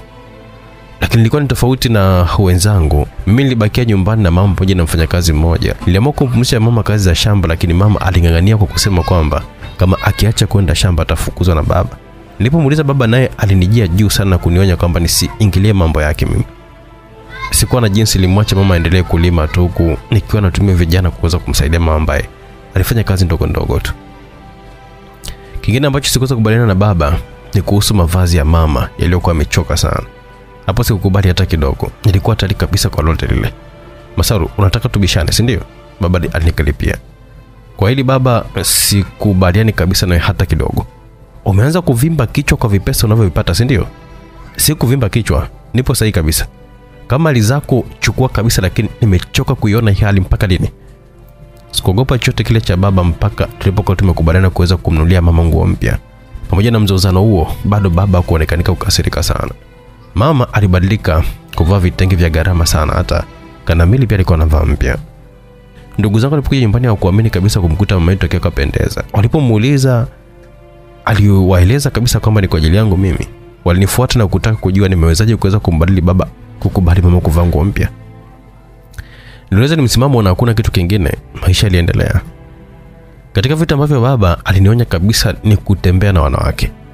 Nilikumbuka kauli za dada monika kwamba alianza kuelezwa kwamba asijihusishe na wanaume na mwisho wa siku akapata kidonda cha kichawi. Mm, Nilimkubalia kumridhisha tu, lakini niliendelea kuwa na mahusiano na binti mmoja hivi ambaye ndiye ambaye tuliyepanga kuoana siku za mbeleni.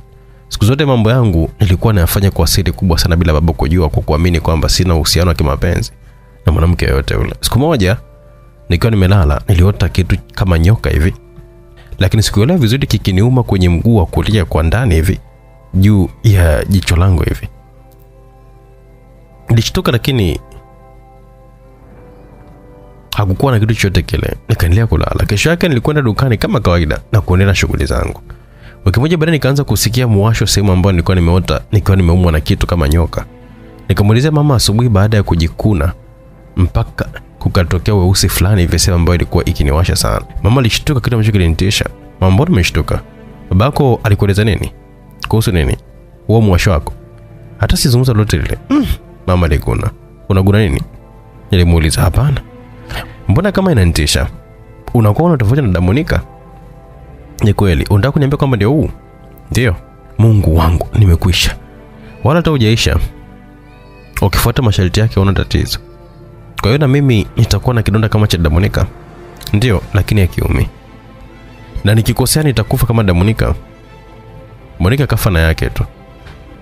Mama, juzi tulizungumza nini afu leo unaanza kunibadilikia tena? Nilimwona mama akiwa anataka kuficha mambo. Masalu, nakuomba swali muulize babako na usimueleze kama tumezungumza. Sawa mama. Niliachana mama huku mwili wote ukiwa unaninyong'onyea kwa kujua kwamba nilikuwa nimeelezwa na Damonika ameshatimia tayari. Siku ile hata hamu ya kwenda kwenye duka langu sikuwa nayo kabisa kwa kuamini kwamba nilikuwa nimeshaishi nimesha nimeshaharibika tayari. Nilishinda ndani huku nikiwa nalia, lakini mama alitumia muda wake kunibembeleza tu kwamba sijaharibika kama nilivyokuwa nafikiria. Masalu, usaidie mwanangu. Mama, kwa nini sasa mnanitendea unyama kama huu? Kosa langu ni nini? Unakosa mwanangu, kidonda hiki humfuata yule ambaye aliyeteuliwa na mizimu. Watanitewa vipi wakati mimi sitaki? Huwezi kukataa mama, na malengo yangu wewe unajua kabisa. Ni kweli, lakini hakuna wa kumzia wa kumzia babako uamuzi wake aliokuwa ameamua. Mama, mimi nitakufa kama Damonika. Kwa nini? Siwezi kufuata masharti, ni magumu mno. Sio magumu ukizingatia. Siwezi mama, siwezi. Nilikatwa kauli na sauti ya baba ambaye alikuwa akimwita mama. Nilimwona mama akishtuka na kuanza kutetemeka na kijesho mbariki wake na mvuja. Mama vipi? Naomba useme babako nilikuwa nimekueleza ataniua. Siwezi kumwambia. Ngwana mnoni. Lama. Mama alitekea huku akiwa anatoka chumbani kwangu. Vipi? Mbona kama unatoka chumbani kwa mtoto? Hajisikii vizuri. Na shamba hujaenda? Bami hayo. Nimwache Masaru anaumwa alafu niende shamba. Kwani anaumwa sana? Etoka asubuhi analia tu hapa. Kafanya nini? Mm, hebu nenda ndani kule kwa muone. Masaru, baba aliita. Naam baba. Eti nini? Ah, kuna vitu ambavyo sivielewi. Vitu gani? Baba alisema huko akiwa anaingia ndani. Alipoingia ndani alinikuta nikiwa nimeshikilia mguu wangu. Kuna nini? Baba, sehemu hii hapa inaniwasha sana kufikia hatua ya kuanza kunikosesha raha kabisa. Hebu nione. Limuonesha baada ya kusema kwamba ah, kumbe hiki ndio baba. Sasa tatizo nini? Kinaniwasha. Ah, usikikune, kitapona chenyewe. Hapana baba, bora kabisa niende hospitali mimi. Masaru, usiende hospitali. Ugonjwa huu si wa kawaida. Wa nini sasa? Utajua tu baadaye, lakini chonde chonde usiende hospitali. Au ndo kama kwa dada Monica? Eti? Kauli yangu nimshtua baba na kunitizama mara mbili kama ndio siku ya kwanza kabisa ananiona. Eh, tunasemaje? Baba, mbona umeshtuka hivyo? Ah, sijakuelewa. Hebu rudia swali lako. Nauliza kisio kidonda kama cha dada Monica. Mamako ndio amekwambia leo atanitambua. Baba alikuja juu sana. Baba, badala ya kuweza kunijibu swali langu, unakimbilia kutaka kumpiga mama. Au ndio umemwona kwamba gunia lako la mazoezi, si ndio? Nizidi kumchanganya baba na maneno yangu ambayo akufikiria hata siku moja kwamba nitaweza kuyatamka. Masaru, mbona nikosea heshima wewe? Sijakukosea heshima, ila nataka kujua ukweli wa mwasho, kwani nilibashiliwa kipindi kirefu sana. Na nani? Na dada Monica. Alikubashiria nini? Alieleza kwamba kifo chake kimetokana na kuikataa kidonda hiki, na ulichomwahidi ndicho kilichomtokea. Muongo. Unamsingizia Monica wakati uongo wote ukakupa mama yako. Baba, utamwonea bule mama. Mama hajanieleza chochote kile zaidi ya kunifanya mtoto mdogo tu, mambo ambayo ninayajua mimi. Mambo gani? Sikuhusu chanzo cha utajiri kidonda cha dada Monica mpaka kifo chake kilisababishwa na nini, na utabiri wake wa kidonda kikitoka kwake kitakuja kwangu. Mm, baba Liguna kisha nitazama kwa muda na kuangalia juu kabla ya kuweza kushata na pumzi. Masalu, naam. Naambia kule mama yako kakuambia nini juu ya huu mwasho? Kaniambia kama ni mwasho wa kawaida. Utapoa wenyewe. Hajakwambia kitu kingine chote kile? Hajaniambia, na ndio maana nilijua kabisa kwamba ananidanganya. Dada Monica alinipa siri nyingi sana, zingine hata mama hajui. Na bahati mbaya, wakati akiwa nakufa nilikuwa niko mbali, lakini kuna mengi mazito sana ambayo anataka kunipa juu ya familia yetu. Monica alikwambia nini? Alieleza kwamba jinsi kidonda chake kilivyo kimeanza na muwasho, tuna mwisho siku ilikuwa kisichouma zaidi ya kutoa tu maji na kukataza kabisa siafute. Mm, pamoja na uongo wake na kuomba usimwamini ni mfiti ni tu yule. Baba, unataka kunihakikisha kwamba kidonda hiki sio kama cha Damonika, si ndio? Nimekueleza kwamba usimfuate Monika, ni mwongo. Kama ni mwongo, naomba na mimi basi uniondolee masharti ya kuwa na mke. Masaru, umri wako bado. Baba, mimi sio mdogo. Ukweli ni kwamba huu mwasho mwisho wake ni kidonda ambacho kitaingiza pesa kwa njia ya kumwagika maji. Baada ya mwenyewe kushinda masharti yako, ulimua, uliamua kumua, na mimi na utaniua pia. Narudia na kueleza Monica ni muongo. Baba, Nasema kama ndicho kidonda hiki, basi na mimi nitakufa kama dada Monica. Masaru, kuna sababu ya kuweza kutoka kituo. esa baba, lakini kaa ukijua kabisa kama muwasho huu mwisho wake ni kidonda cha utajiri, sitaki na kuomba unirudishe shuleni. Nikurudishe shuleni, fedha za shule utazipata wapi? Kwani lazima nipate kidonda ili nisome? Utasoma, lakini kumbuka pesa zinatafuta na njia zake. Pesa zipo nyingi, mojawapo ni kidonda changu, si ndio? masalu tutazungumza. Hebu vaa, kuna mali mpya nimeituma dukani kwako kule, tenduka ukaiangalie. Sawa baba. Nilikubaliana kishingo upande tena kukubali kuondoka na baba kwenda dukani kwangu. Nilipanga kuto kwenda dukani baada ya kupata uhakika wa mwasho wangu. Niliondoka na baba hadi dukani ambako alinionyesha baadhi ya bidhaa ambazo alizokuwa ameniingizia kutoka China. Vilikuwa ni vitu vingi sana ambavyo vilifanya duka langu liongezeke. Kwa muda mfupi, hata ndugu zangu walikuwa wanaanza kunionea wivu. Wazo la haraka lilikuwa ni huenda aliyokuwa amefanya Damonika ya kutaka naye awe na maisha yake ndio yaliyosababisha hali kama ile. Aliamwasho iliendelea kupungua tu na kuweka kitu kama gamba hivi kwa weusi ule. Siku moja asubuhi nilipoamka, nilikuta lile gamba limetoka kutokana na kujigeuza na kuweka kidonda. Moyo wangu ulilipuka na kujua kazi imeanza. Kutokana na maelezo ya awali, kidonda kile hakikutakiwa kabisa kutibiwa. Nilijikuta nikiwa nakosa raha pamoja na mali zote ambazo alikuwa amenipa baba. Sikuwa na furaha yote ile moyoni mwangu kuishi na kidonda kisichoweza kisichowekwa dawa mpaka mwisho wa maisha yangu. Nilipoamka na kukuta hali ile, nilimweleza mama, naye alinipa jibu jepesi. aliyokuleta dada yako yametimia. Mama, nitafanya nini? Nitaishi hivi mpaka lini? Masaru, ondoa wasiwasi kama nilivyokuwa nimekueleza toka mwanzo. Usishtuke sana kwa vile hali hii nilikuwa nimesha kueleza kabisa mapema utaishi vipi baada ya kutokea kwa hii hali. Mama kusema ni rahisi, lakini haivumiliki kabisa. Nitaishi vipi na watu wakijua kwamba nina kidonda kama cha dada Monica? Nitaweka wapi uso wangu? Nani nitajua? Labda utaonyesha wewe.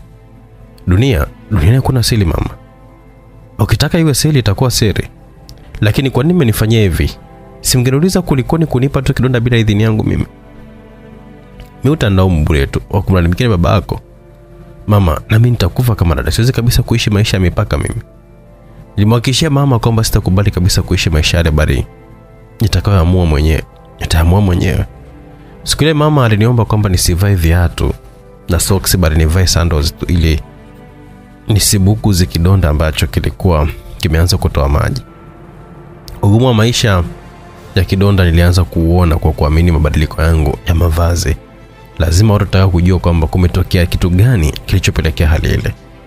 Siku ile nilishinda ndani nikilia tu, japo mama alihitaji sana kunibembeleza, alijitahidi sana kunibembeleza. Sikuweza kumkubalia. Niliamini kwamba ule ulikuwa ni, ni uonevu tu wa kupewa kitu nisichokuwa napenda, tena chenye masharti ya kuweza kumdhalilisha mtu. Taarifa zilimfikia baba ambaye alikuwa amekuja kunipoza. Alipofika alikuwa amenikuta nikiwa nimejifung, nimejifungia ndani, kwani sikuwa na hamu ya kuweza kuona na mtu kabisa. Alinigongea mlango kwanza, nilikaa kimya bila kujibu chochote kile.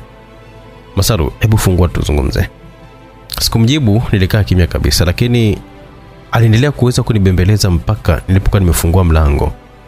Nilipomwona tu niliangua kilio. Baba, mmefanya nini? Masaru mwanangu, hebu tulia basi nikueleze jambo.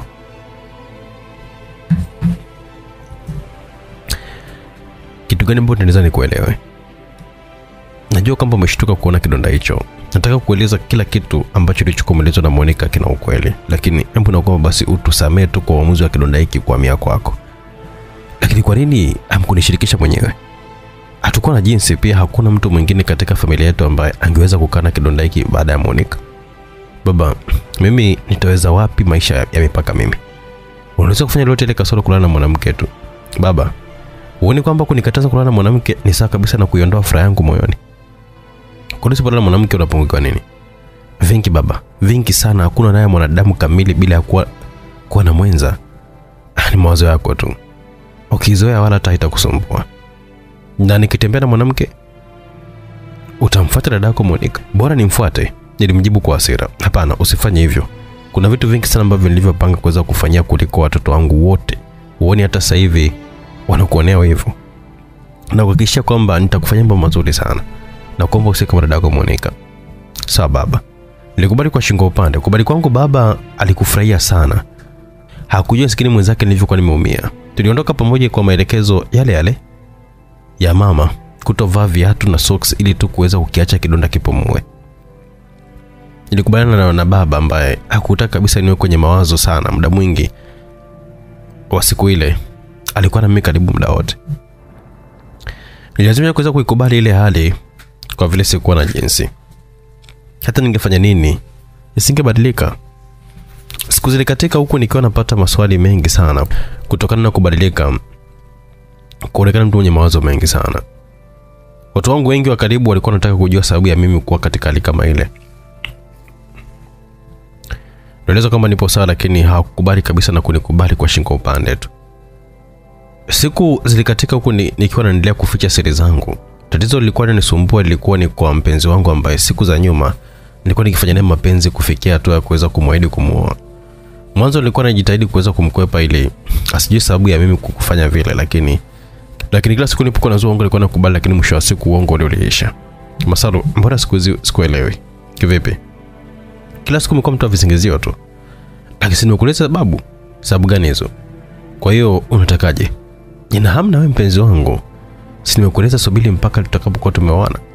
Masaru, usinitanie. Si ni wewe ambaye ulikuwa unalazimisha tufanye mapenzi kabla ya ndoa?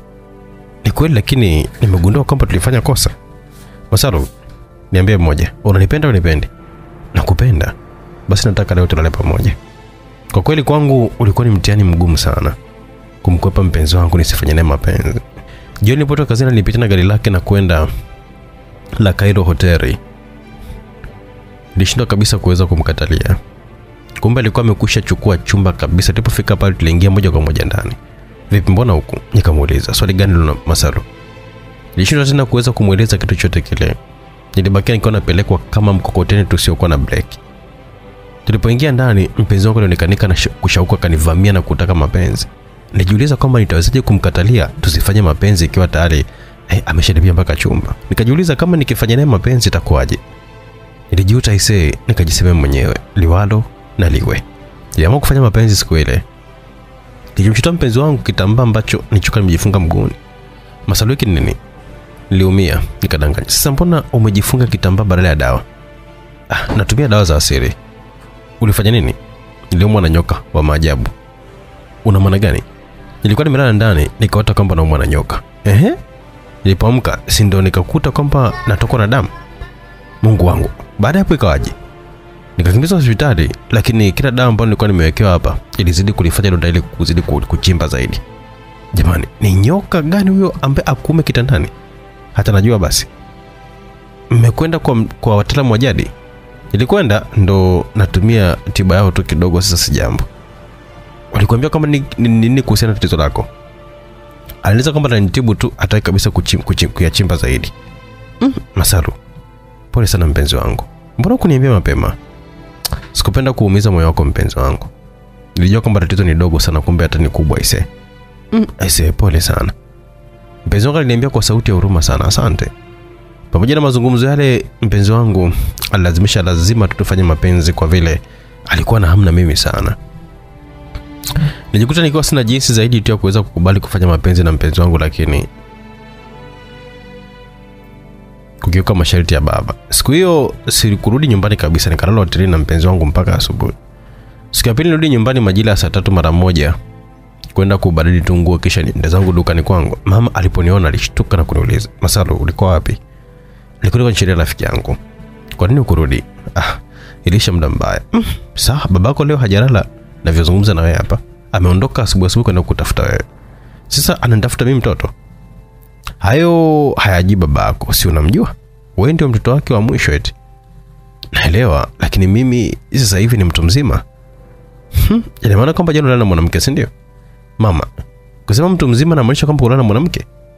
Ah, sina, sina maana hiyo. Kulala nje sio tija. Wasiwasi wangu ni kwamba pengine ulimaanisha hivyo wewe, lakini kumgani mnanyima haki ya msingi mimi? Ni kweli, lakini ndo ilivyokuwa inatakiwa kuweza kuvumiliwa tu. Hayavumiliki, tutafanyaje? Ipo siku nami nitapata ufumbuzi wa tatizo langu tu kama dada Monica. Unataka kufanya kama dadako? Usifanye hivyo, bado nakuhitaji sana. hamna shida na mimi wenye thamani kweli ni wao ambao wanaishi maisha mazuri yasiokuwa na masharti hapana masaru utanifanya mamako mimi nife kwa mawazo. Hujui kiasi gani nilivyokuwa nawapenda sana wewe na monika ndio watoto pekee ambao wanaonijali mimi. Eh?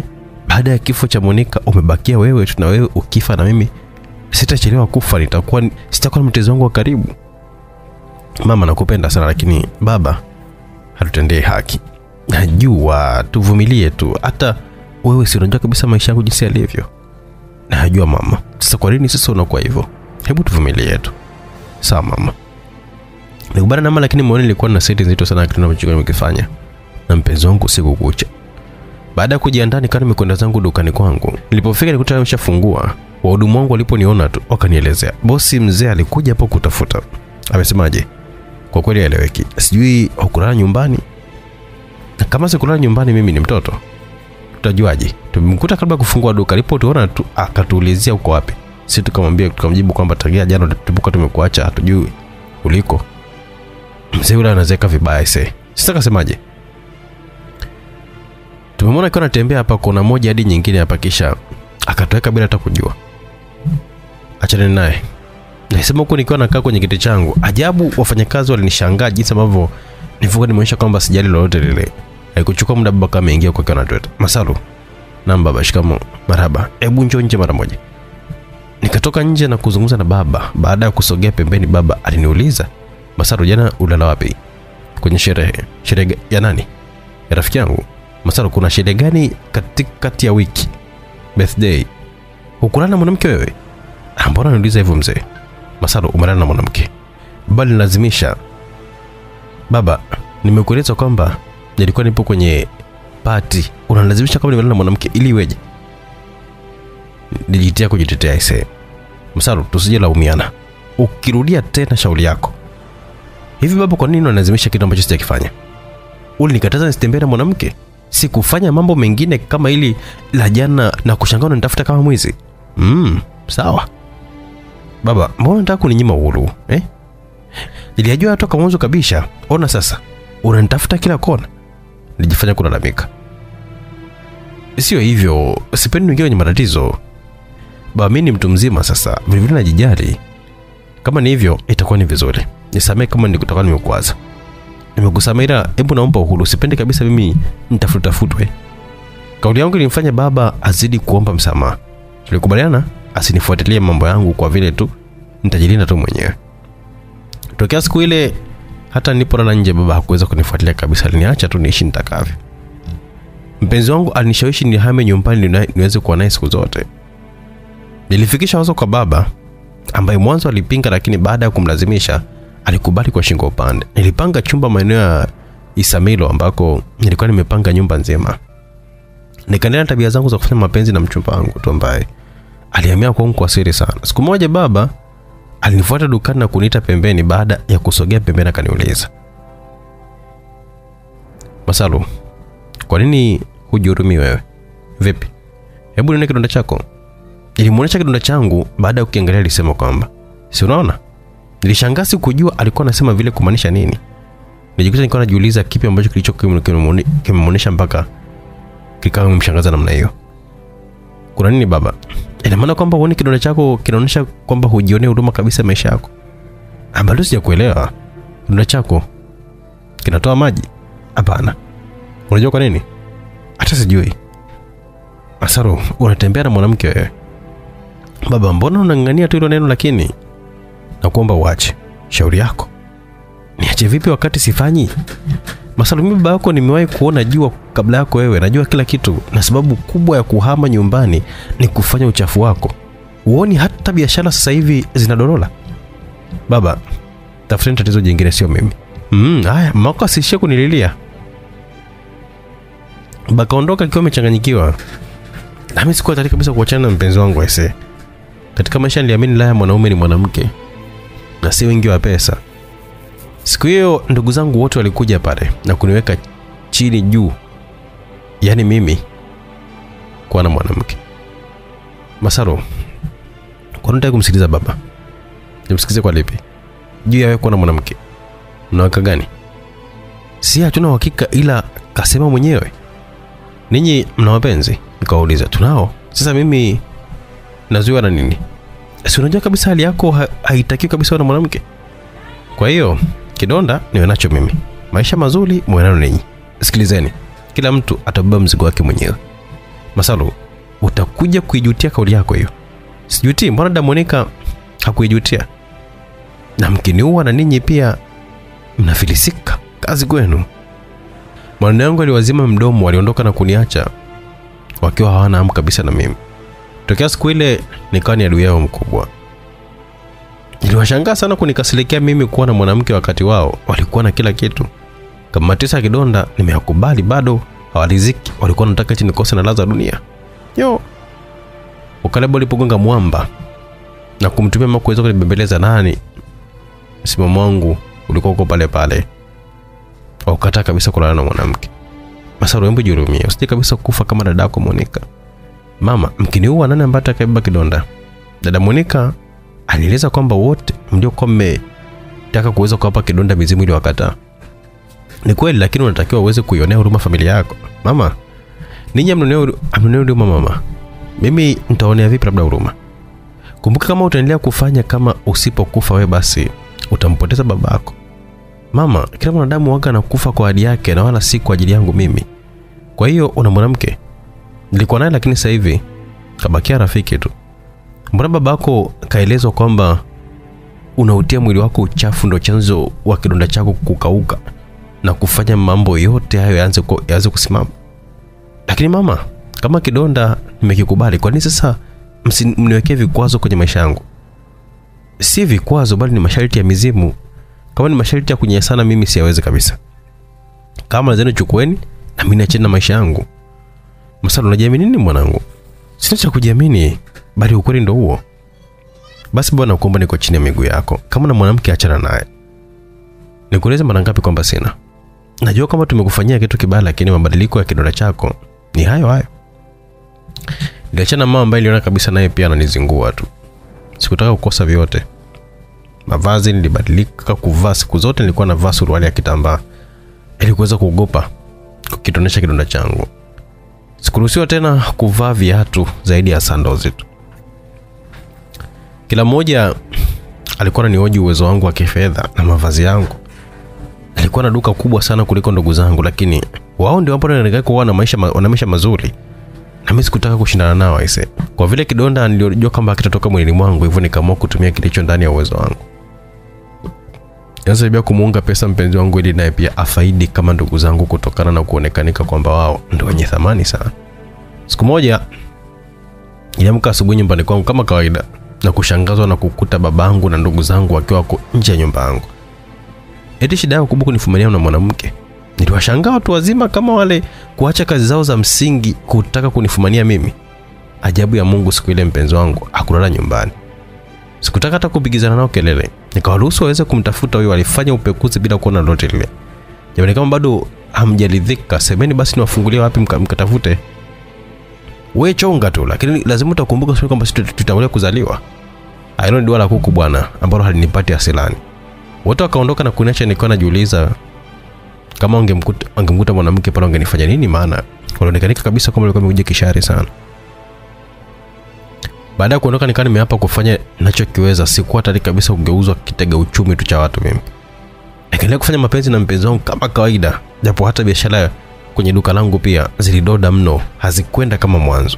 Yote hayo sikuyafikiria zaidi ya kuweza kusubiri litakalotokea tu japo mama akawa anajitahidi sana kunibembeleza niachane kabisa na yote yakiwa yanaonekanika yanaharibu biashara za familia yetu ikiwemo na yangu pia. Baada ya kuna muda nikaanza kuwa mlevi kila muda nilikuwa nimelewa tu. Kitu kilichozidi kabisa kuichanganya familia yangu. Siku moja nikiwa niko faraga na mpenzi wangu nilishangaa kuziona sehemu zangu za sele zikiwa zimeingia ndani. Nikashtuka sana. Hali ilinifanya nikose raha kwa kuamini kwamba zile zilikuwa ni njama za familia yangu kutokuona tu kwamba sifanye mapenzi na mwanamke. Katika kumbukumbu nilikumbuka siku moja kabla ya kutokea na tukio lile nilipokuwa niko na mpenzi wangu kuna kitu ambacho alinipaka kilichofanya nihisi kama vile kuwashwa hivi baada ya kumaliza kufanya mapenzi na siku ya pili nilitokewa na tatizo lile ilibidi nimbane kutaka kujua kwamba alikuwa amenipaka kitu gani masaru juzi nilikutana na dada yako mkubwa aliniomba nikupake dawa hii Nilikataa, lakini alinitishia kuniua. Unajua familia yako imeniandama sana. Kumbuka kuna wakati nikawa na kukimbia na ukaamua kumtafuta mwanamke mwingine. Kitendo kile kiliniuma sana na kuamua kurudiana na wewe. Ndipo juzi nilipokuwa na dada yako aliyekuwa amenipatia dawa hii ni kupaki kabla ya kufanya mapenzi. Itasaidia kuweza kupunguza madhara yanayotokana na matatizo ambayo yangekupata wewe. Nilikubali kuipokea kwa vile sikudhani kabisa kama dada yako angeweza kufanyia kitu kibaya, kumbe nia yake ilikuwa ni hii hapa ya kufanyia hivi. Lakini kwa nini sasa amekutendea hivi? Najikuta nikilia kwa uchungu sana kwa kitendo cha dada yangu mimi. Mpenzi, sikuwa na nia mbaya. Kama ningelikuwa na nia mbaya leo, nisingelikuwepo hapa. Ona jinsi ulivyonimaliza. Hujui ugomvi wangu na familia yangu umekuwa ni kama mgeni, unakubali kabisa kunimaliza. Ona sasa, nilisema kwa uchungu sana, kunikana namuonyesha sehemu zangu za siri zilizokuwa zimerudi ndani.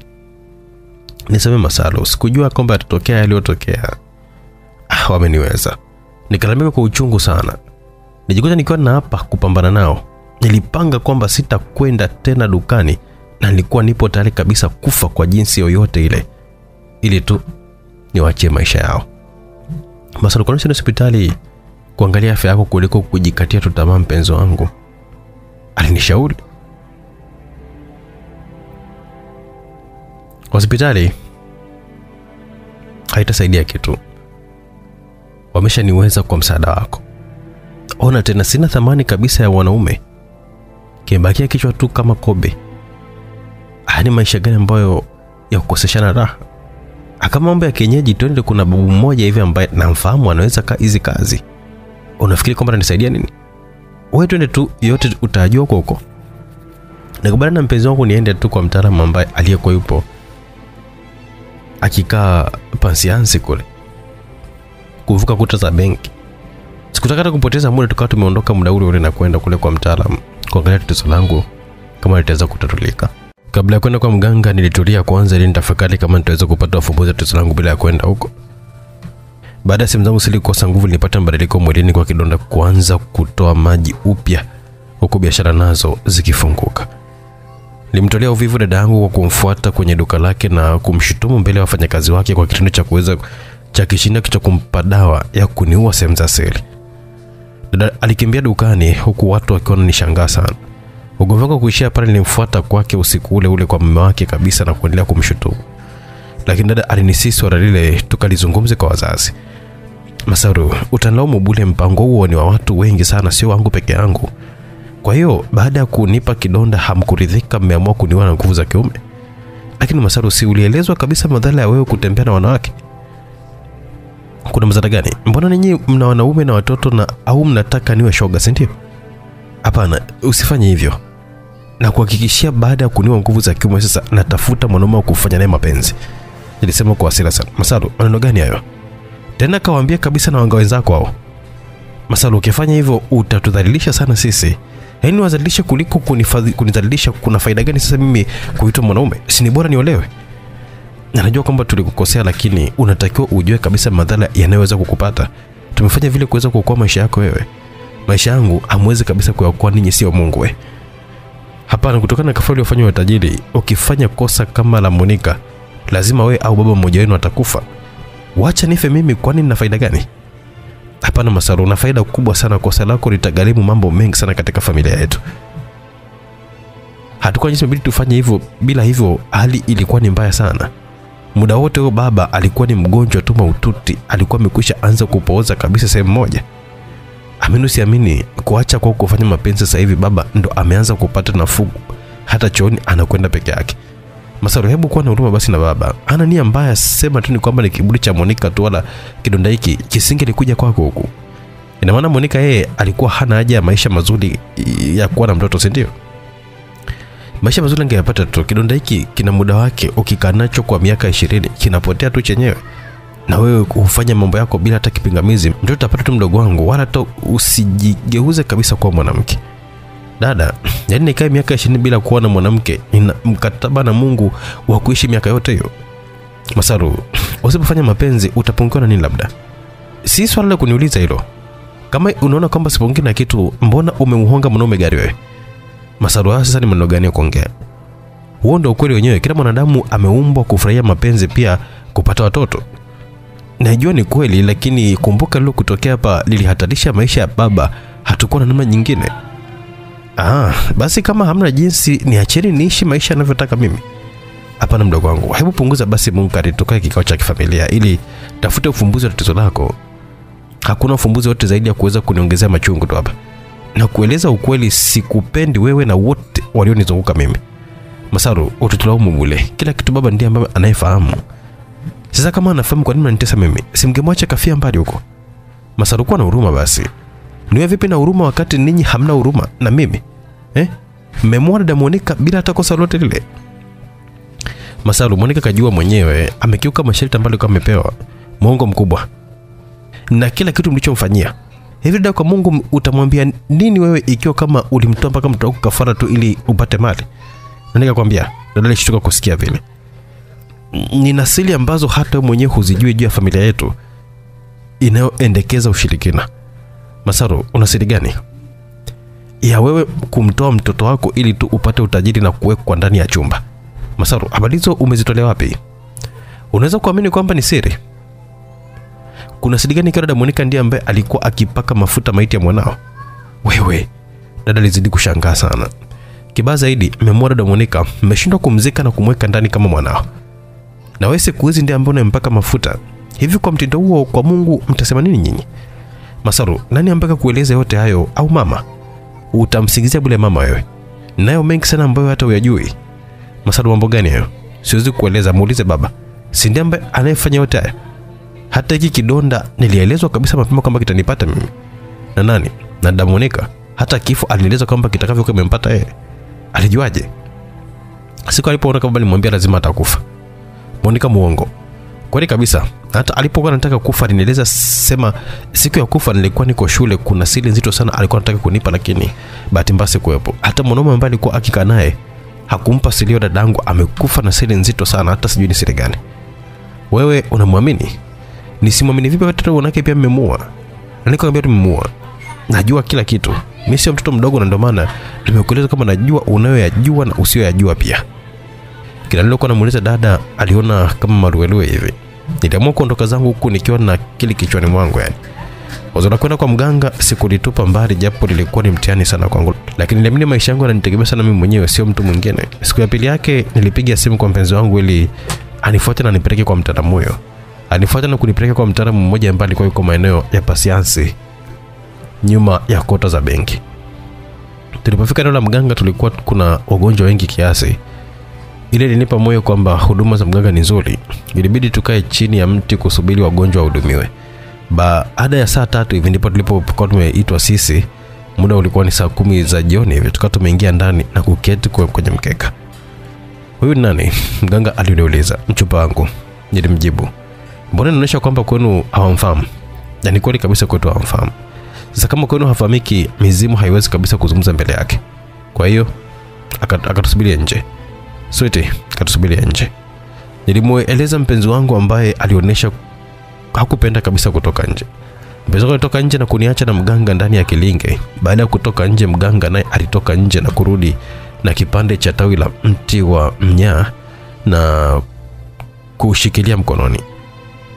Alipoingia alikaa kwenye mkeka kisha akanipa kipande cha mnyaule ambacho nilikishika kwa muda kisha akaniambia kwamba nikiachie. Baada ya kukiachia tu alisogea karibu na sikio kama anasikiliza simu hivi. Kisha alianza kuzungumza kama mtu ambaye alikuwa anazungumza peke yake. Masarumi jamani mbona kila siku matatizo sifai chini sifai juu? Kiuno kinaniuma mgongo unaniuma miguu inaniuma kifua kinaniuma shingo inaniuma kichwa kinaniuma macho hayaoni vizuri choo sipati vizuri. Jamani ni kwa sababu gani? Masalumi jamani mbona kila siku matatizo sifai chini sifai juu kiuno kinaniuma mgongo unaniuma miguu inaniuma kifua kinaniuma shingo inaniuma kichwa kinaniuma macho hayoni vizuri choo sipati vizuri. Jamani ni kwa sababu gani? Masalu mimi na tatizo gani jamani? Mbona kila siku matatizo ya, yanaongezeka tu? Ni kweli mganga utanisaidia? Mbona mimi ni maiti inayotembea inayosubiria tu kufa. Ni kweli mganga utanisaidia? Mbona sina thamani ya dunia? Kifo changu anakishikilia baba kama cha dada Monica maisha ni mpaka lini kidonda mimi? Na sasa umechukua nguvu zangu za kiume nini ambacho kimebaki kama si uhai wangu tu? Kweli mganga utanisaidia? Baada ya kusema hilo aliondoa kipande cha mti wa mnyama sikioni na kutupia kwenye kapu la dawa hivi ambalo liko pembeni yake. Umesikia? Ndio. Yaliyozungumzwa yana ukweli? Ndio. Unajua kwamba ni maiti? Maiti? Kauli ya mganga ilinishtua sana. Haujijui? Sijui. Mpaka sasa hivi upo sawa na dunguzo tu. Kivipi? Viungo vyako vipo sawa? Mm, vipo sawa. Kipi kilichokuleta hapa? Ni mambo mengi. Mojawapo ni mengi ila kubwa ni hili la lililojitokeza hivi karibuni la kufa kwa nguvu za kiume. Hujui sababu zake? Najua. Hasa nike mikuleta huku. Mwenzangu alinieleza kwamba unaweza kunisaidia. Nikusaidia nini? Kuitoa hii hali. Kidonda umeilizika nacho? Nasikia nikikitoa hapa naweza kutokea matatizo katika familia yetu. Kama unajua hivyo kwa nini nataka dawa za nguvu za kiume ah, kama utajiri ni wao lakini mapenzi ni haki yangu mimi ya msingi. Sikiliza kijana usijitoe akili. Nini nachokuza dada yako mkubwa? Juu ya kupona kwa nguvu zako za kiume. Nini kitampata babako kwa hiyo nibaki na hii hali milele. Ni uamuzi wako kupona upoteze watu au uendelee kuwa maiti inayotembea ili kuweza kuokoa familia yako.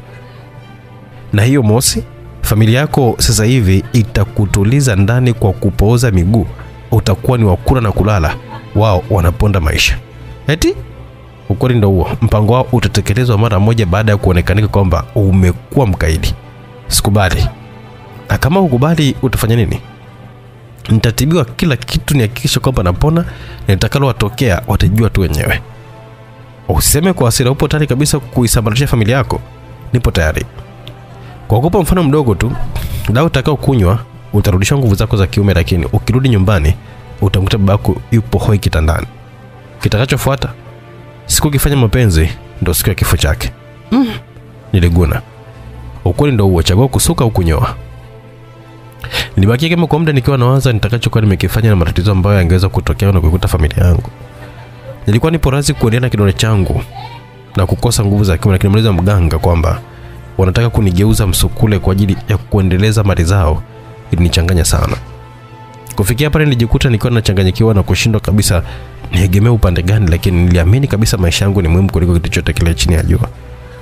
Vilevile sikuwa tayari kumhurumia mtu ambaye alikuwa amepanga kuniangamiza kwa ajili ya tamaa zake tu za mali uamuzi nilioamua ni kujitengeneza mimi. Na lolote litakalotokea, basi kila mmoja atabeba msalaba wake. Baada ya kukaa kimya kwa muda mrefu mganga kanishtua vipi umeamua nini maana? Naona kabisa umekaa kimya. Mzee wangu mambo ni mazito. Kila ninachofikiria naona kwamba ni zito. Kwa hiyo tuache kama ilivyo. Mzee wangu ah, una ufumbuzi mwingine usiokuwa na madhara? Sikiliza kijana wewe unajua matatizo ya familia yenu kuliko mimi. Hebu nisaidie nifanye nini labda? Wewe si ndiye ambaye ni mtaalamu nayekutegemea hapa? E, hutaki kunisikia? Kwani mimi napenda kuona matatizo? Lakini mambo yenyewe yamekaa vibaya sana. Kwa hiyo nimekueleza yote na una uamzi wako mwenyewe wala siwezi kabisa kuingilia lakini ukweli ndo huo. Basi fanya unavyoweza. Vipi utakaona kwamba linafaa. Kijana acha kujitoa akili. Mi sipopo kwa ajili ya kuweza kuwachagulia wateja wangu jinsi ya kuweza kufanya. Mzee wangu kwa vile mpango wao ni mabaya tu kwangu naomba nisaidie mimi. Kwa hiyo upo tayari kabisa kwa lolote takalokuwa limetokea? Nipo tayari. Leo nitaanza kukupa dawa ya kurudisha nguvu za kiume lakini usishtuki kusikia taarifa zitakazokuwa zimekufikia ambazo zitajenga uadui mkubwa sana kati yako na ndugu zako siwezi kushtuka kwa viumbe wasiokuwa na huruma na mimi. We nipe hiyo dawa kila mtu atabeba mzigo wake mwenyewe. Haya nisubiri. Mganga alinyanyuka na kutoka nje akiniacha na uamuzi mmoja tu ambao nilikuwa tayari kabisa kwa lolote lile baada ya muda alikuwa ameniita nje nikatoka na kuelekezwa nisubiri kwenye kigoda baada ya muda nilimwona mpenzi wangu akiwa amebeba ndoo hivi kutoka kwenye kisima ambacho kilikuwa kipembeni ya nyumba ya mganga. Alipofika mganga alimweleza kwamba yapeleke nyuma ya nyumba na kuyaweka kwenye beseni. Alifanya vile alipokuwa amerudi mganga alizunguka nyuma ya nyumba na kwa muda aliniita. Nikawa nimemfuata na kukuta kulikuwa na beseni ambalo lilikuwa na maji yaliyokuwa yamechanganywa na dawa ya unga hivi na majani mabichi kama ya mnyonyo. Oga ya maji. Kisha ya majani utajisugua sehemu zako zote zisizofanya kazi. Sawa? Sawa. Akamaliza kuoga vitu vyote hivyo viache huko hakuna tatizo mzee mganga aliondoka na kuniacha nikiwa nafua nguo na kuanza kujimwagia maji kwa mikono huku nikiwa najisugua na majani yale mabichi sehemu zangu za asili zilizokuwa zimekwisha nguvu Baada ya kumaliza kuwa nikaa nimerudi kwa mganga, anieleza nikae kwenye kigoda hivi, kisha kama zunguka nyuma ya nyumba hivi. Sikujua alikuwa anakwenda kufanya nini. Mara karudi akiwa ameshikilia majani ambayo alikuwa amejisugulia na kuingia kwenye kilinge chake. Baada ya muda aliniita. Niliingia kibanda na kuketi kwenye ngozi ya ng'ombe hivi. Baada ya kuketi, mganga alinipa maji ambayo alikuwa hapo kwenye kikombe cha plastiki. Nilikunywa maji yale, kisha nikawa nimerudisha kikombe. Baada ya kukipokea, alisema sasa, nafikiri kwamba kazi tumemaliza. Weka hapo kwenye kapu kiasi chote kile kama sadaka kwa mizimu. Nilichomoa pochi na kuweka shilingi elfu hamsini. Baada ya kuweka, mganga alisema mpaka sasa kwenu kuna hali ya sintofahamu inaonyesha babaka ameunga dukani na anarudishwa nyumbani. Ukitaka kumua haraka babako, ukikutana na mpenzi wako haikopeshi, salamu utai- utaisikia. Sasa mganga, kama ni hivyo, kuna faida gani ya kuja kwako? Nilikuwa na kujulisha tu, litakalotokea usishangae. Kesho asubuhi njoo haraka sana, maana kuna vita nzito sana itakayo kutokea hapo. Itakuwa ni mara mbili ya leo. Ningeweza kabisa kukutengenezea zindiko, lakini siwezi kabisa kufanya kazi mbili kubwa kwa wakati mmoja. Hakuna tatizo. Basi wewe nenda nyumbani. Kama naweza usione kabisa, atakutafuta sana ili kuhakikisha baba yenu anarudi katika hali yake ya kawaida. Na kurudi kwa afya ya baba yako haichukui muda, unakuwa msukule wa familia wa kuwaingizia pesa. Siwezi kubali kama nipona, nitaendelea na mpenzi wangu kwa vile bila yeye nisingeweza kupona. Yule joko vile nimekueleza bila hata kuficha kitu chote kile. Baada ya maelezo ya mganga, nilitoka na kumpindia mpenzi wangu tukaondoka.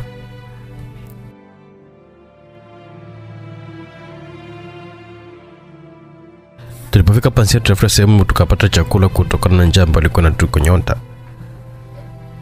Wakati wa kula nilijikuta ni mtu mwenye mawazo mengi sana, kitu ambacho kilichomshtua mpaka mpenzi wangu na kutaka kujua kulikoni. Masala, kuna nini? Mbona kama unaonekanika kuwa na mawazo mengi sana? Ni kweli na mtihani mzito. Upi huo? Kuhusiana na hali yangu, kama nilivyokueleza, kuna mambo mazito sana ambayo yamejitokeza. Sikuwa jinsi nikamwelezea kila kitu, sikutaka hata kumficha kwa vile msaada wake ndo ambao ule uliokuwa umefichua yote. Baada ya kunisikiliza alishtuka sana. He? Ndio hivyo nikubali ili nigeuze ndondocha au nikawate babangu afariki na familia kukutwa na matatizo mazito sana. Hmm, huo mtihani, lakini maisha yako ni muhimu kuliko kitu chote kile. Na mimi nimefanya hivyo. Ila mganga ameniomba kwamba leo nisionekanike nao ili kesho turudi mapema kwake. Hakuna haja kuangaika, tafuta gesti yote nzuri hapa hapa pasiansi ili kesho turudi kwa mganga mapema sana. Kweli wazo zuri. Basi tufanye hivyo. Nikakubaliana na mpenzi wangu. Baada ya chakula, tulitafuta nyumba ya wageni yenye hadhi ya kupanga na kupanga pale.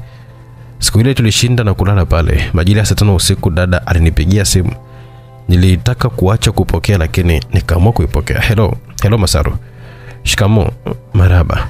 Unasemaje? Masaru, uko wapi? Una shida gani? Masaru, umefanya nini? Kuhusu nini? Unataka kumua baba? Kumua kivipi? Masaru, baba akifa utamla nyama kama mlivyomla dada Monica. Nini? Umenisikia vizuri sana. We fanya mzaha, lakini ole wako baba afe. Na wewe pia ole wako siku ukisogeza pua yako kwangu, mwanga mkubwa wewe. Kwanza nilikuwa na kuchekea, sasa hivi sikupendi na kuchukia, ni adui yangu nambari moja kabisa, na taarifa zako unazipeleka polisi. Polisi utawaambia nini? Kwamba wewe na wenzako ni wauaji. Tumemua nani? Dada Monica na mtoto wako, na ushahidi wa sehemu ulipoziweka hizo maiti zao ninao na lazima mtanyongwa mwaka huu naambia.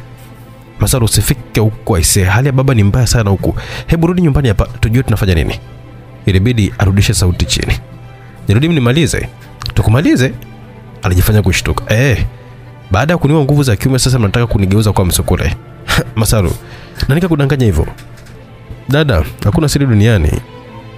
Yeye pamoja na kunipa kidonda hamkuridhika pamoja na utajiri na maisha mazuri kupitia mwili wangu, mkaamua kuniua nguvu za kiume ili nisiwe na thamani yoyote ya dunia, si ndio? Haitoshi, mmeniandalia mpigo zito sana la kuweza kunimaliza kabisa, la kunigeuza kwa msukule ili tu muwe na maisha mazuri, si ndio? Na nyinyi viumbe gani mnaojali fedha kuliko utu wa mtu? Mmemtoa kafara da Monica kwa tamaa zenu wenyewe. Hamkuridhika, umemtoa mpaka mtoto wako tu ili uwe na pesa nyingi. Vile vile hu- hamkuridhika, mmenigeukia na mimi kwa vile hakuna mtu mwingine wa kuweza kumpa kidonda hiki, mmeamua mnaigeuze ndondocha kabisa wa familia, sio? Masaru, umejuaje? Si kujuaje? Kwa nini umeamua kunifanyia hivyo? Sio kweli. Sawa, si kweli. Basi baba anakufa, umeamua kumua, si ndio? Mimi na ninyi, nani ambaye kaamua kumua mwenzake? Masaru, kumbuka baba yetu ni huyu huyu, akifa huyu tutampata wapi mwingine?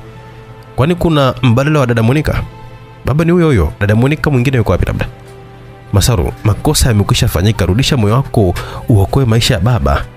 Kwanza mnaniambia hivyo, mimi nimemfanya nini baba? Inaonekana umekwenda kwa mganga kurudisha nguvu zako za kiume. Kwa hivyo nitaka niwe hivi milele, si? Kwa raha zenu, au sio? Mbona nyinyi mna watoto na wanaume? Kwani Masaru uko wapi? Tokea lini mnanitafutaga nyinyi? Basi zungumza na mama hapa. Baada ya muda nikamsikia mama akiwa anaita, Masaru, na mama, shikamoo. Marahaba mwanangu, uko wapi? Hali ya babako ni mbaya sana hapa. Anaumwa nini? Ameanguka kwenye mishughuliko yake huko. Kama ni kweli umefanya wewe, basi njoo msaidie babako. Hali inatisha ise, hajitambui na koroma tu hapa. Mama, eh, sihusiana na lolote ile kuhusiana na matatizo ya baba. Eh. Naomba mumpeleke hospitali.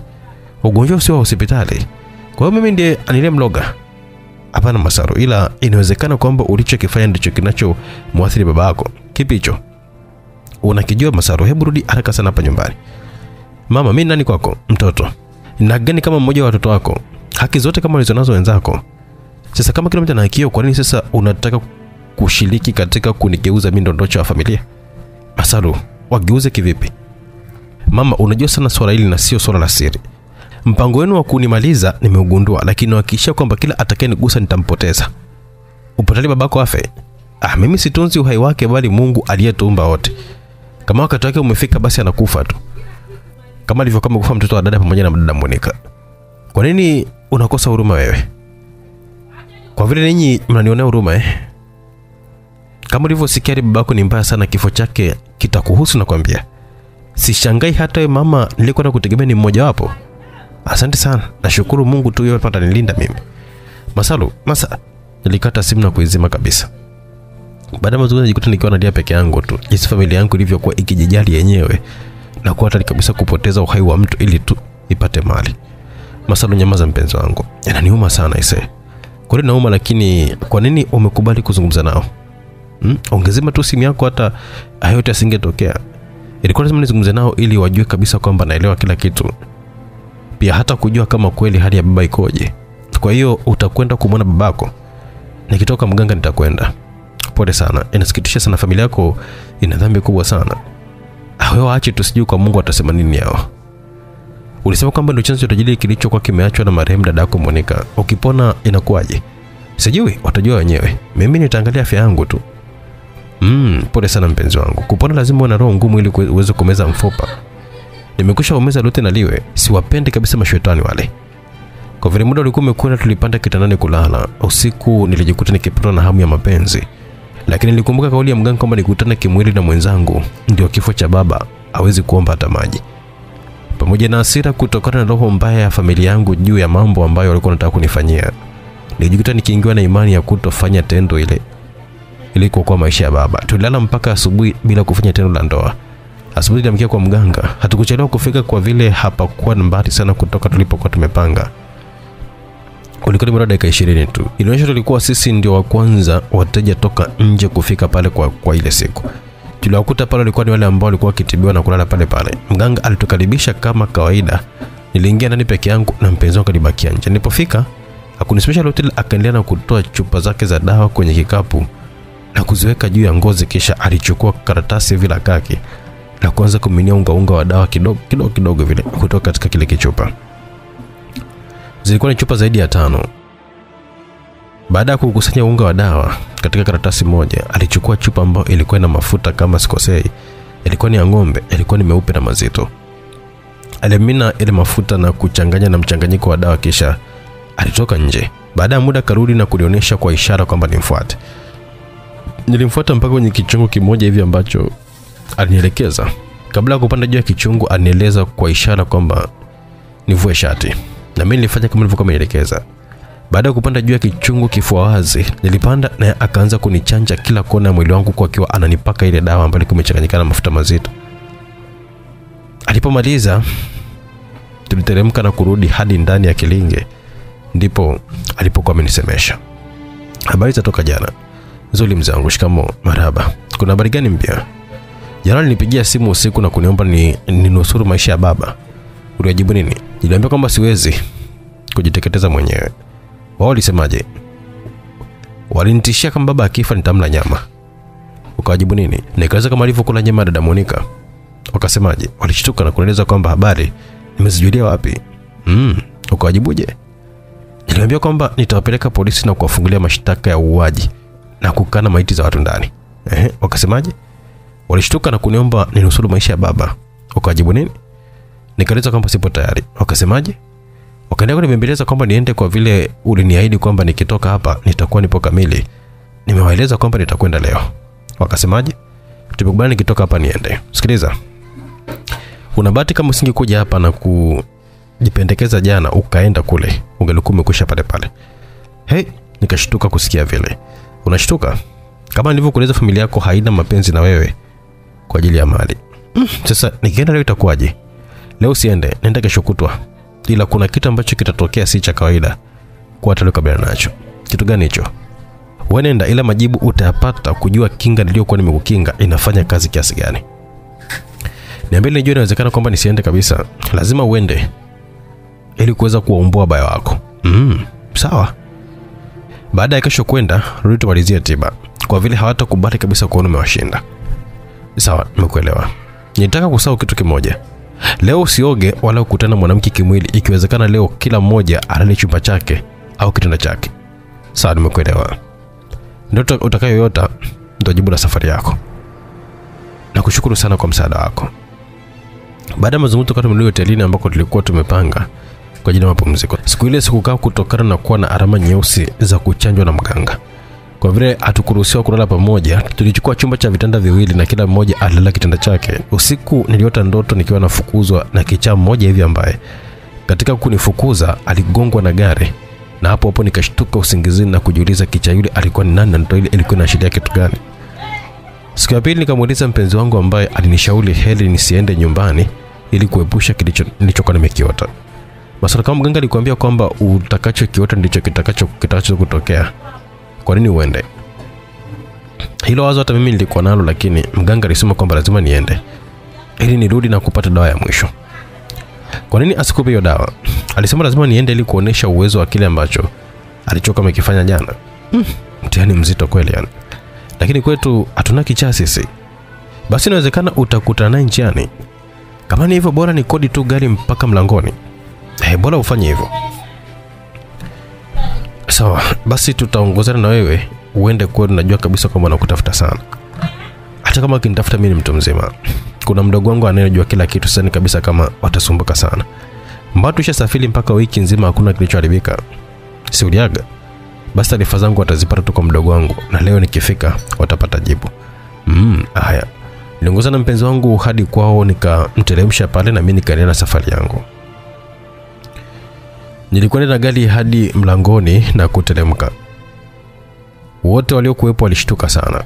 Baba aliyekuwa amelazwa sebuleni aliponiona alipiga kelele, mtoeni, ataniua! Baba, siwezi kuua, utajua wewe mwenyewe.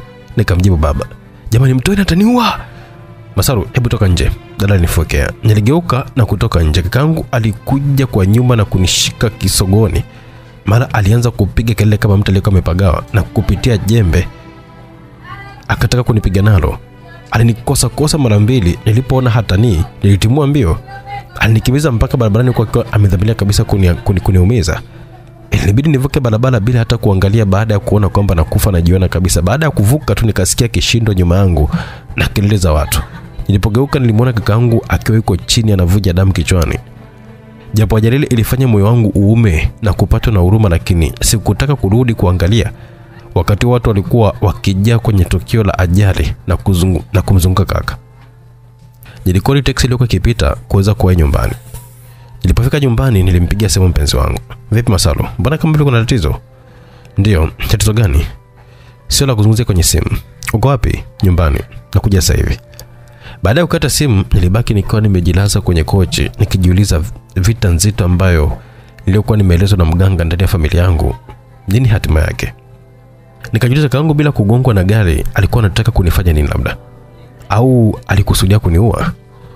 Njozile baada ya kuona ukweli nikaa nimejiuliza nini ambacho kitafuata. Niliamini kama vita ya nguvu ya giza basi itashindikana, basi watatumia nguvu za kawaida ili tu kuweza kunitokomeza duniani. Nikajiuliza kama itakuwa ni hivyo nitawezaje kuepuka. Nilipanga kukimbia mji wa Mwanza kuokoa maisha yangu kuliuza duka langu. Wazo lile lilikuwa linanitaka nishauriane na mwenzangu kabla ya kuweza kutoa maamuzi. Nilipanga akija nitamgusia swala lile ambalo kwa upande wangu lilikuwa limechukua sura mpya ya kutisha sana kwenye maisha yangu. Wakati nilikuwa nipo kwenye dimbwi la mawazo, mpenzi wangu aliingia kwa hali ambayo alikuwa mkutana nayo ya kujilaza mikono kichwani, kamshtua sana. Vipi Masalu? Ah, mambo mazito Eseki, vipi? Nikamuuliza nilikuwa nimekutana nayo huko nyumbani, alibaki mdomo wazi asiamini nilichokuwa nimemweleza. Sasa bila kugongwa na gari ingelikuwaje? Eh, hata sijui yani. Sasa kwa nini mganga hakukwambia? Aniambia nini wakati aliniambia kwamba nitakako nimeota kwenye ndoto ndio nitakao kutana nayo? Sawa. Lakini alitakiwa akupe tahadhari. Mganga aweze kuambia kitu kijacho kabla ya kutokea ili usije kabisa kusema kwamba ni mwongo. Pole sana mpenzi wangu. Sasa tunafanya nini? Marasimu yangu iliita nilipoangalia nilikuta ilikuwa ni dada. Nilitazama bila hata kupokea. Kitu kilichomfanya mpenzi wangu kuuliza, "Mbona upokee simu ni nani?" Ya dada. Anataka nini? Si alikufukuza huyo? Hata mimi nashangaa. Usipokee. Kwenye sikupokea iliita mpaka ikakatika, na baada ya kukatika haikupita muda ikaita tena vile vile, sikupokea iliita mpaka ikakatika. Nilitaka kuzima, lakini mpenzi wangu alikataa kabisa na kwa kuniambia simu za ndugu zako usipokee, lakini zingine zije zingie.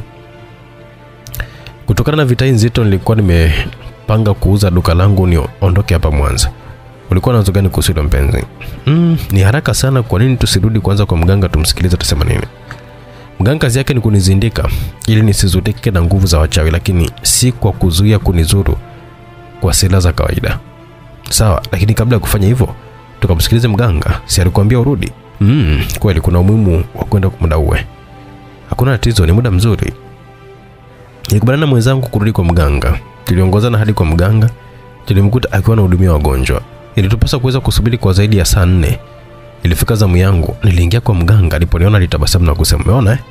Ndio. Sasa ule ndo ubaya ambao ulikuwa umekuzunguka. Bila kupitia hapa alipokushika, ungeanguka chini na kupooza kuanzia muda ule, na ungelikuwa uko kwenye chumba chenye mwanga hafifu. Hayo ndio angelikuwa ni maisha yako mpaka unakufa. Mm? Na kangu aligongwa na gari hakufa? Mm -mm, hakufa. Atapona? Atapona, lakini itachukua muda mrefu sana kupona. Aligongwa, hakuumia. Wala ile haikuwa gari la ukweli kama ambavyo ulivyokuwa nadhani. Ni kinga ya mwili wako na hakuna kuchezea sasa hivi. Atakayetaka kukuchezea atapatwa na matatizo kuliko yaliyompata kaka yako. Kila tatizo litakalokuwa limetokea utaliona usingizini kabla ya kutokea. Kwa hiyo nakushukuru sana, lakini ukitumia siraji zindiko nilokuwekea hawezi kabisa kuzuru kitu chochote kile. Nilikuwa na wazo la kuuza duka linitoroke wala usiende popote pale, hakuna kugusa, atakuogopa kama ukoma, ila inabidi duka lako lifanyiwe zindiko, bila hivyo mali zako zote zitakupokonyoka na kukufanya masikini wa kutupa sana. Na ndugu zangu, je, nao pia wana wakati mgumu, si muda watakuwa na maisha magumu, labda wahangaike tena, la sivyo kwa kutegemea ndagu ya kidonda wataathirika sana. Kwa hiyo unataka kuniambia kwamba kaka hakupata ajali? Hakupata ajali, ila amepata kichaa baada ya kutaka kukudhuru na kumrudia mwenyewe. Ile gari na watu waliokuwa wamekuja walitokea wapi? Kliniki ni macho tu, lakini ile ndo kinga ambayo inayokulinda baada ya kuweza kumzuia. Ulipata nafasi ya kuweza kukimbia na kurudi kwako. Na hali ya baba mm, hali ya babako ndo hivyo, umeshikiliwa na uhai wako wewe. Kubali uteseke, babako apone. Asipotali kabisa, wacha afe. Siwezi kabisa kuonea huruma tena, ni watu wabaya sana wasiokuwa na, na nitakia mema mimi. Basi leo nitamalizia kazi yangu. Ukitoka hapa, fanya mambo yako bila hofu, atakaye kugusa atapotea. Mganga baada ya kusema vile, alichukua dawa nyeusi ambayo ilikuwa kwenye kichupa na kuichanganya na asali, kisha alisema kwamba niachame mdomo na kunichanja, kisha akanipaka dawa kwa kutumia simbi. Chati zingine alizichanja katika utosi, kifuani na mgongoni na sehemu zote za miunganiko ya mwili. Kisha alinipa ruksa ya kuweza kurudi nyumbani na kunipa masharti yale yale ya kutolana na mwanamke kwa siku ile. Kijana, kazi imekwisha, unaweza kuendelea na shughuli zako kama kawaida. Asante. Na kuhusu hali ya baba, ah, yangu nimemaliza, utaamua mwenyewe. Hawezi kupona tena. Akipona ujue kwamba unakufa wewe, hata kama akipelekwa kwa mtaalamu mwingine. Akongo, nimemaliza kazi yangu, naamini kabisa kwamba haijawahi kutokea. Kama itatokea, basi ujue kabisa ndo kifo chako wewe. Sasa asipopona je? Atakufa. Asa itakuwaje ndugu? Si watajua kama mimi ndo nilimua? Kijana ndio pumbavu hapa. Niambie unataka nifanye nini? Ufe babako apone au afe babako upone? Mganga alikasirishwa sana na maswali yangu. Basi mzee nisamehe. Niliomba msamaha baada ya kuona kwamba nilikuwa nimemuuzi mganga. Sijawai kuona mtu mpumbavu kama wewe. Unanipoteza wakati wangu hapa hebu nakuomba uondoke. Mganga alikuja juu sana na kunifukuza. Samani mzee wangu. Nilijikuta nikichanganyikiwa baada ya kumuuzi mamba kabla sijavuka mto. Samani nini bwana? Nilikuita hapa nikutibu au hapana. Nilikuomba nikusaidie? Hapana. Sasa kwa nini unanitia ujinga kwa kazi zito ambayo niliyoifanya ya kuweza kukoa maisha yako? Nisamehe mzee wangu nipo chini ya miguu yako sitakuuliza tena swali lolote lile kuhusiana na familia yangu. Kazi nimemaliza. Nipe changu kilichobaki kisha uende zako huko. Utaamua chote kwenda kwa mganga yote ule akusaidie. Ila ukiondoa mguu wako hapa usije tena. Mzee wangu najua nimekosea. Hebu naomba usifike huko. Nilizidi kumwomba msamaha mganga baada ya kubaini kwamba nilikuwa nimefanya kosa lazima nifike. Nimekufafanulia mangapi yaliyokuwa nataka kukupata na leo umepata jibu. Bado unajitoa akili eti nikufanye nini wewe? We mtoto. Hapa nimekosea mzee wangu. Nipe adhabu yote lakini usinikataze kuja hapa. Nilipiga magoti pele ya mganga kuomba msamaha. Nimekuelewa kijana lakini usirudie tena kuingilia kazi za watu we. Nakushukuru sana mzee wangu. Baada ya kusamehewa na mganga tuliagana na kunieleza ninapotokewa na tatizo basi niende kwake bila tatizo baada ya kutoka pale sikutaka kurudi nyumbani ambako niliamini kwamba lazima ndugu zangu watanitafuta. Kama kawaida tulirudi kwenye hoteli yetu ambayo tulikuwa tumelala siku za jana yake. Tulilala pale mpaka siku ya pili. Usiku wa siku ile mpenzi wangu alikuwa anataka kujua nini hatima ya maisha yangu baada tu ya kutoka kwa mganga. Masaro mganga amesemaje juu ya uamuzi wako wa kukimbia mji? Amesema kwamba hakuna kitakachonitokea nikae tu hapa hapa. Na kuhusu ile ajali anasema kwamba ikuwa ajali bali ni kinga ambayo alioniwekea. Ndio inayonilinda nisidhuriwe na kaka. Masaru unataka niambia kakako agongwa na gari? Mganga ndivyo alivyonieleza. Mm, makubwa lakini mganga huyu kiboko sana sifa zake ni kubwa. Lakini alitaka kunitimua ise he kivipi? Nilikuwa nataka kumuuliza hatima ya hali ya babangu. Akakujibu nini? We hmm, kumbe niliwasha moto wacha anifukuze pale kama mbwa baba mayai Ehe, ikawaje alinibidi nimwombe msamaha huku nikiwa nalia kabisa. Eh, mkaishaje alinisamehe na kunionya kwamba nisirudie tena kuuliza maswali ya kijinga lakini naume ataka. Unamwambia dhamini mtu uliyemfunga mwenyewe? Ah, pamoja nayo lakini yule ni mzazi wangu. Haya sasa chagua mzazi apone uumie wewe. Japo niuma lakini kisu kimegusa mfupa ise kungelikuwa na njia mbadala nisingekubali kabisa kuna babangu ikawa anateseka kwa ajili yangu mimi. Lakini ningelikuwa ni mimi nisingelikuwa na huruma na mtu aliyenitoa kafara kwa tamaa zake tena ningemuulia mbali kabisa hata kwa sumu. Lakini kumbuka pamoja na yote ni mzazi wako huyo. Siwezi kumwonea huruma mzazi mwenye nia mbaya na mimi. Akitaka kuniua nikigundua na mimi namfanyia kitu kibaya sana. Lakini sio kila baya lazima ulipe ubaya. Kuna lingine unatakiwa kuweza kulisamehe tu. Kwa upande wako utasamehe vipi labda? Ili kupona lazima mtu aumie. Kibaya zaidi pamoja na yote waliokuwa kufanya bado wanataka kupoteza kwenye sura ya dunia bado watu kama wewe tunaonea huruma? Ah kwa nimechanganyikiwa sana ise. Sikiliza masaru unapofanya kitu kibaya kisha ukaona huruma basi lazima litakurudia tu na halitapata tiba mpaka unakufa. Wana nikakwambia masaru mpaka nakupeleka ule mganga najua mengi sana kwa hiyo jepushe kukiingia kifua unayoyafanya. Bora ungeacha kabisa kuliko kuingilia kazi ya mganga hasa wakikusaidia katika matatizo yako. Kwa hiyo nikiendelea kusikitika itakuwaje usishangae ugonjwa baba babako ukakurudia wewe. Lakini sasa hivi si nimeachana nao. Basi ndo hivyo. Siku zote usionyeshe huduma pale unapoamua kutenda jambo zito. Huduma yako ugeuka kuwa sumu na kukurudia mwenyewe. Nimekuelewa. Kwa vile muda ulikuwa mwingine tulikubaliana tulale ili mengine tuzungumze kesho yake kwa vile bado tulikuwa tumepanga kuendelea kuwa pale kwa siku moja zaidi. Kila mtu alilala kitanda chake kama tulivyokuwa tumeelezwa na mganga. Ilionyesha wazi kabisa kwamba mpenzi wangu alikuwa akiumia kutokana na kumnyima haki yake ya msingi. Lakini bado sikuwa tayari kabisa kumua babangu ku kulifanya tendo lile. Hata hali ambayo alikuwa nayo ilikuwa inatokana na kuyaokoa maisha yangu mimi aliyokuwa amefikia hatua mbaya sana. Pia hakukuwa na njia mbadala ya kuweza mimi kupona bila babangu kuweza kuguswa. Japo mpenzi wangu alionekanika hana huruma na familia yangu na kuwa tayari kuiona ikiwa inapotea baada ya kugundua kwamba alikuwa na mpango mbaya kwangu lakini nilijitahidi sana kutafuta njia ya kuweza kumweleza kwa makini kabisa ili anielewe sikupenda hata siku moja kifo cha baba yangu kitokane na mimi kwa kufanya tendo la ndoa nikijua kabisa kwamba ndilo litakalomaliza uhai wake Pamoja na kujua ubaya wao kwangu, bado sikutakiwa kabisa kuua, nikijua kabisa chanzo cha kifo kinatokana na nini. Tulilala kila mtu kitanda chake kwa kuzima taa. Katikati ya usiku niliota ndoto moja kuwa nyumbani kuna watu wengi sana. Mama na ndugu zangu walikuwa nalia, lakini baba sikumwona kabisa. Nikashtuka usingizini na kwa kitako, huku nikiwa najiuliza ndoto ile ilikuwa na maana gani. Kwa haraka mawazo yangu yalinituma lazima ule niliokuwa nimeota ulikuwa ni msiba. Kama niliwaona wote kasoro baba, ilionyesha wazi kabisa msiba ule ulikuwa ni wa baba. Baada ya kuwaona watu kasoro baba, niliamini kabisa ndoto ile iliashiria kifo cha baba lakini sikutaka kuamini moja kwa moja kutokana na kauli ya mganga kwamba baba yangu atakufa kama nitakutana kimwili na mpenzi wangu, na sharti lile nilitekeleza mimi.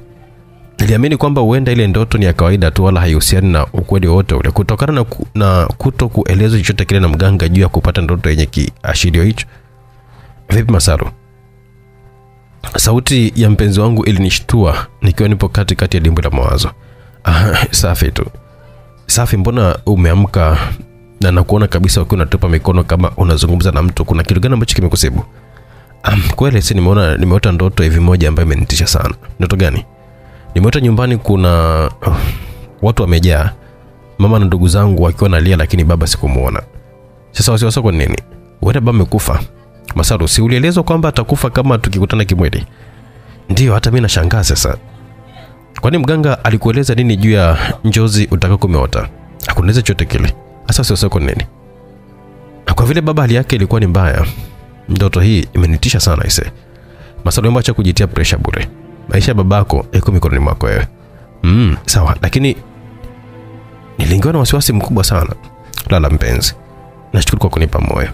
Nipo hapa kwa ajili yako. Asante mpenzi wangu kwa kunijali. Sina cha kukulipa.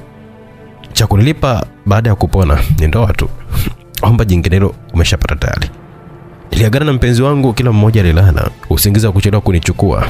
Haikuchukua muda mrefu, njozi ikawa imejirudia tena. Safari ndio wasikia kabisa wakiwa wanalia, kwa wanatupa shutuma zao kwangu kwamba mimi ndiye ambaye chanzo cha kifo cha baba. Nikashtuka tena kitandani na kuwasha taa. Mpenzi wangu naye alishtuka na kuhoji kwa nini nimeamka tena.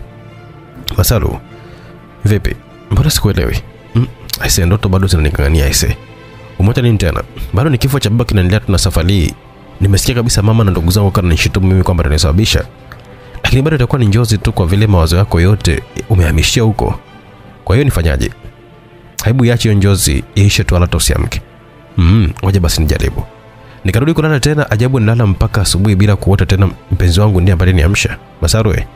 Naam, upo vipi? Upo sawa? Ya, nipo sawa. Vipi? Naona leo umelala sana? Kwani muda ni saa ngapi? Mm, ni saa tatu na nusu sasa hivi. Oh, leo nimelala sana ise. Inawezekana ni kutokana na kuamka amka tu usiku kutokana na njozi zilizokuwa naota. Aise, na kweli. Vipi uliota tena? Ah, sikuota. Nimelala vizuri kabisa. Unaona, wasiwasi wako tu. Njozi zingine hutokana na mawazo ya mtu. Ni kweli, lakini zilikuwa ni hali mbaya sana kwa vile kama kweli baba atakuwa amekufa basi ndugu zangu hawataelewa kabisa. Wasikuelewe vipi? Si nitaonekana mimi ndo nimemuua. Masa uliomba acha kujitoa akili. Ulikwenda sehemu gani kumloga babako? Sienda popote pale. Sasa sinaonyesha kuwa uchawi umewarudia. Hukuwaroga eh? Ndio. Sasa unaogopa nini? Um, swala la kuwa swala la kawaida eti. Wangekuwa wewe lingelikuwa ni la kawaida. Au umefurahi kuuawa kwa dadako Monica, si ndio? Swali gani hilo? Hujui ninavyoumizwa na kifo cha dadangu wewe? Sasa inakuwaje unakuwa unaogopa vifo vya watu na unajua kabisa kwamba hawana nia nzuri na wewe? Ah, basi tuachane nayo. Tukaoge tupate chai. Niliamka kitandani na kwenda kuoga na baada ya kuoga tulikwenda kupata kifungua kinywa kilichokuwa kipo mle mle kwenye hoteli ambayo tulikuwa tumepanga. Wakati tukipata kifungua kinywa, simu yangu iliita. Kuangalia ilionyesha kangu na kanapiga. Nikaangalia kwa muda bila kupokea mpaka ikawa imekatika.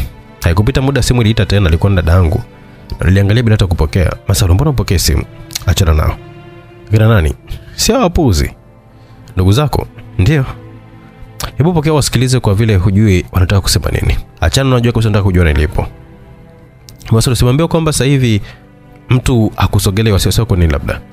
Sina wasiwasi ila sipendi kabisa kuwasikiliza kwa vile hakuna jipya kabisa la kuweza kuniambia. Wasikilize. Sitaki. Wale sio watu sio kabisa kuwasikiliza. Ni watu wabaya kama wale.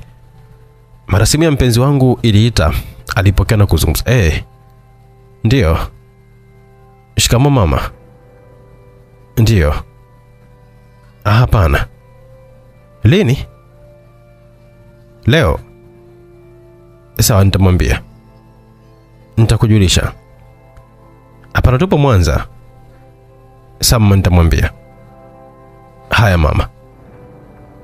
Baada ya kuota simu alinigeukia na kunitazama kwa muda. Vipi, kuna usalama? Kiasi. Kuna tatizo nyumbani kwenu? Hapana, kwenu.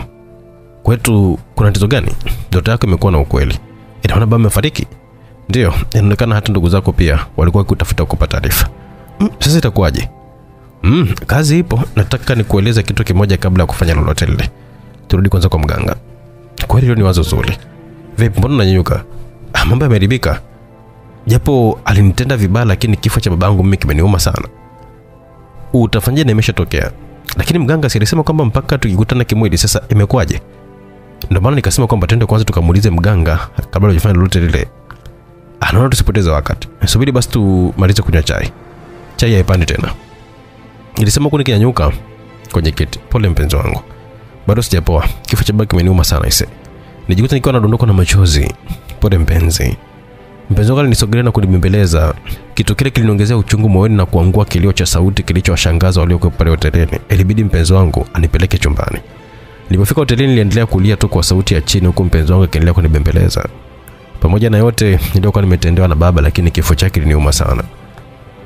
Niliweka pembeni ubaya wake na kuyakumbuka mapenzi yake kwangu kipindi chote cha kukua kwangu mimi.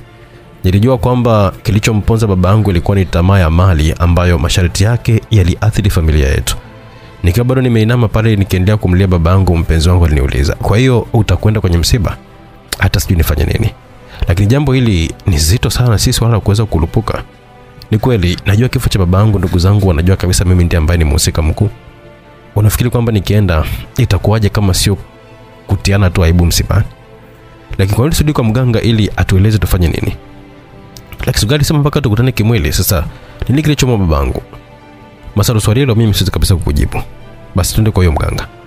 Tulikubaliana kwenda kwa mganga kupata taarifa ya kifo cha baba. Tulifika, tulikuta watu wengi sana, hivyo ilitupasa kuweza kusubiri zamu yetu, japo niliamini kabisa itachukua muda mrefu sana kuonana na mganga. Hatukuwa na budi kusubiri, lakini mganga alipita na mgonjwa akiwa anaenda naye huko nyuma ya nyumba.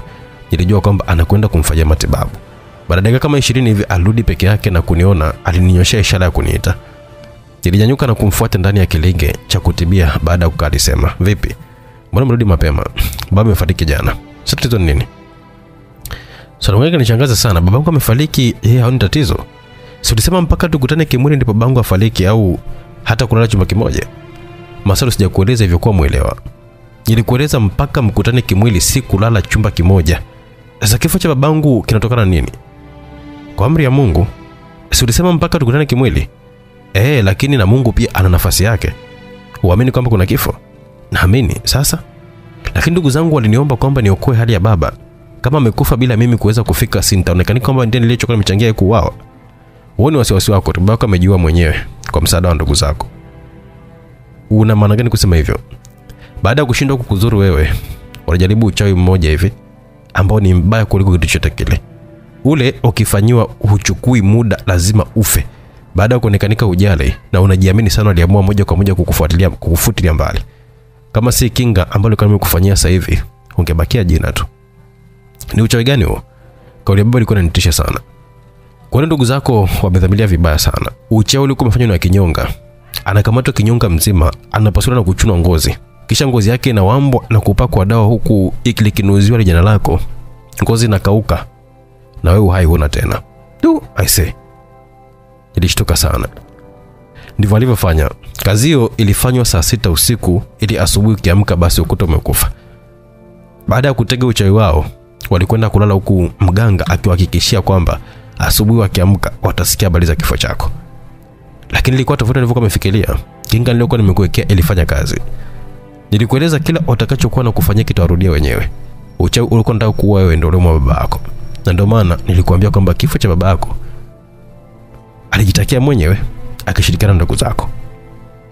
Wanataka kuniambia bila kinga hiyo leo nisingeiona? Hilo ni jibu, uliza swali. Kuhusu kwenda msibani nitakuwaje? Ukitaka nenda hawezi kabisa kufanya lote lile. Hatuwezi kutiana aibu kwamba mimi ndiye ambaye nimemua baba. Wataanzia wapi kwa kitendo walichokuwa wamekitenda jana usiku na leo kukuona ukiwa hai? Wamezidi kuchanganyikiwa sana. Kama wangelijua kama ni mimi ndiye ambaye nilikuwa nimekukinga, basi wangenipa pesa nyingi sana ili wakupoteze wewe. kuna umuhimu wa kuweza kuongeza kinga mwilini mwangu, maana kama kinyonga kashindwa kabisa, lazima wataendelea kutafuta kitu kingine. Nilijikuta nikiwa najihami baada ya kuona vita iliyoko mbele yangu na ndugu zetu na ndugu zangu ni nzito sana. Kijana, kama kinyonga ameshindwa, hakuna kitu chochote kitakachoweza. Japo kwa dawa yangu walikuwa wakijisumbua sana, Uchauli ni mbaya sana. Kwa hiyo unaniambiaje? Ondoa wasiwasi, yote kitakachokuwa imekupata si mkono wa mtu, bali ni amri ya Mungu. Nakushukuru sana mzee. Basi ondoa hofu, hakuna chochote kitakachokukuta. Kila atakaye kugusa kitamrudia. Niliagana na mganga, kisha nilimpitia mpenzi wangu na kurudi hotelini. Tulijiandaa kwenda msibani. Tukiwa njiani, simu dada iliita. Nilikuwa nataka kuacha kuipokea, lakini nilipokea ili nijue ana shida gani. Halo, nilipokea. Ah, asante Masaru, asante sana. Njoo umle nyama baba. Dada alisema kwa sauti iliyokuwa inaonyesha kwamba alikuwa analia. Tena wewe ndiye ambaye ninaye kutafuta mchawi mkubwa wewe. Na kuapia sintakusamehe wewe na wote hata marehemu baba mpaka na Vitendo vyote mlivyokuwa mnavitenda hamkulidhika mpaka mnaitaka roho yangu kwa nguvu. Hivi ni kifo mtafaidika nini? Nani nataka kuua? Kitu mlichokifanya jana sitawasamehe mpaka na kufa. Mnalaumu nahusika na kifo cha baba. Hebu niambie mimi nimefanya nini kuchangia ugonjwa mpaka kifo cha baba? Kinyonga mliyemtumia ili kuweza kuniua ndiye aliyemmaliza baba kwa taarifa yenu. Hii umejuaje? Dada alishtuka. Na kwa pia nilikuwa na mpango wa kuwasamehe, lakini kwa kitendo mlichokitenda jana saa sita usiku sintawasamehe milele, na mimi nitajua ni cha kuweza kufanya. Endelea kuloga na mimi sasa, naingia vitani, tuone nani ambaye ni zaidi. Kauli yangu ya vitisho, japo sikuwa na nia hiyo, ilimfanya dada akate simu kabisa. Masalo, vipi? Mbona sikuelewi? Mpenzi wangu aliniuliza, wewe waache tu. Nani huyo? Dada. Mbona mnatishana? Namtisha, namwambia ukweli. Kwa nini sasa umwambia mapema? Lazima wajua ubaya wao, na tena na wafuata msibani wanaeleza kisa na mkasa cha kuweza kuyatafuta maisha yangu namna hiyo. Najikuta nikiwa nimepandwa na hasira sana. Punguza hasira. Tukifika hotelini tutalizungumza hili.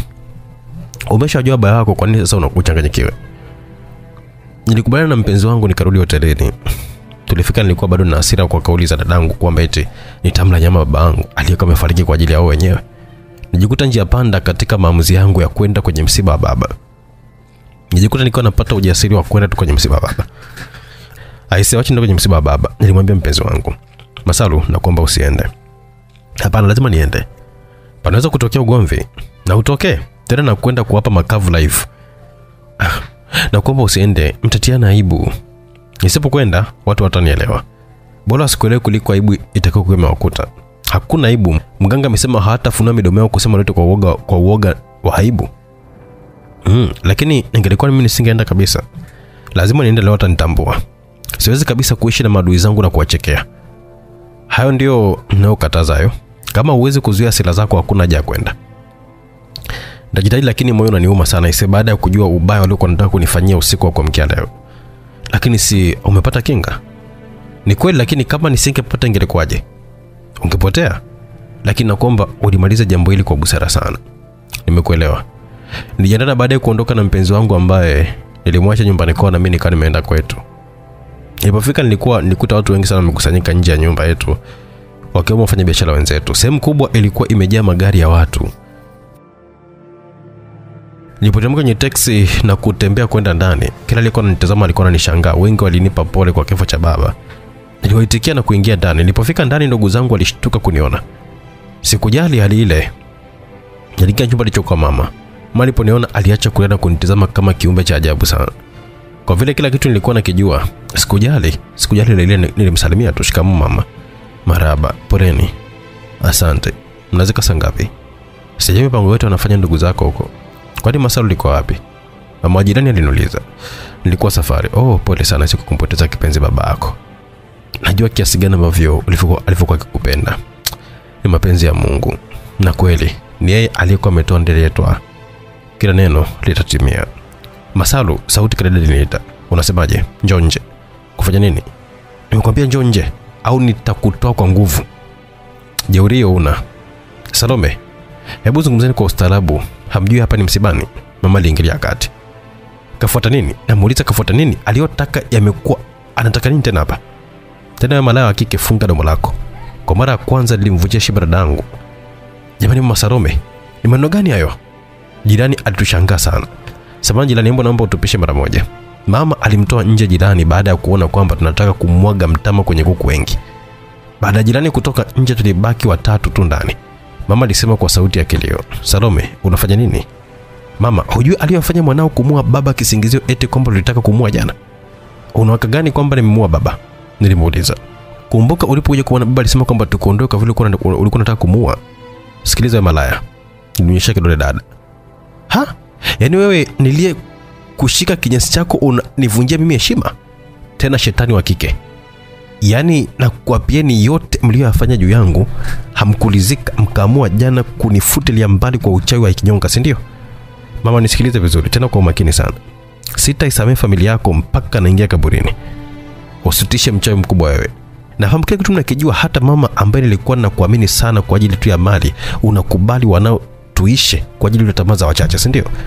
Nilikuwa na huruma na ndugu zangu na kukubali kuteseka kwa ajili yao, lakini hili la kutaka kuniua sitawasamehe milele. Muongo mkubwa, wewe ndio uliyemuua baba. Mama, nimemuua vipi baba? Mama kujibu, alitazama chini kwa aibu, akaendelea kusema kwa hasira, lakini sauti ilikuwa ni ya chini sana. Dada Salome, unajua kila kitu, wewe ndiye ambaye uliyempa dawa mpenzi wangu anipake ili tu kuwa nguvu zangu za kiume. Mlifanikiwa, lakini ulisahau kwamba mimi si mzimu wa familia. Nilijua kabisa kwamba mlikuwa nataka kunitoa kafala kama dada Monica, lakini mambo ya kwenda hivyo. Niliweza kupita chini juu ya kuweza kuidhibiti hiyo hali. Baada ya hapo, amkulizika mkataka kunigeuza ndondocha, mkashindwa, na mwisho mkataka kuniua. Matokeo yake mmemua baba. Mnakosa haya kunishutumu mimi. Hivi ucha wenu wa kinyonga ungefanikiwa, mimi ningelikuwa wapi hivi? Nasema hivi, naondoka. Si amnitaki? Naondoka, ila na kutadhalini sana, mkiendelea na mchezo wenu mtapukutika wote kama mlivyomtanguliza baba yenu. Mimi sio Monika, ni Masalu. Baada ya kusema vile, niligeuka na kutoka nje bila kuzungumza na mtu yote. Niliwapita watu ambao hawakuelewa kwamba nini kichoendelea. Nikaelekea barabarani na kukodi taxi ambayo ilinipeleka mpaka nyumbani. Nilimpigia simu mpenzi wangu anifuate nyumbani.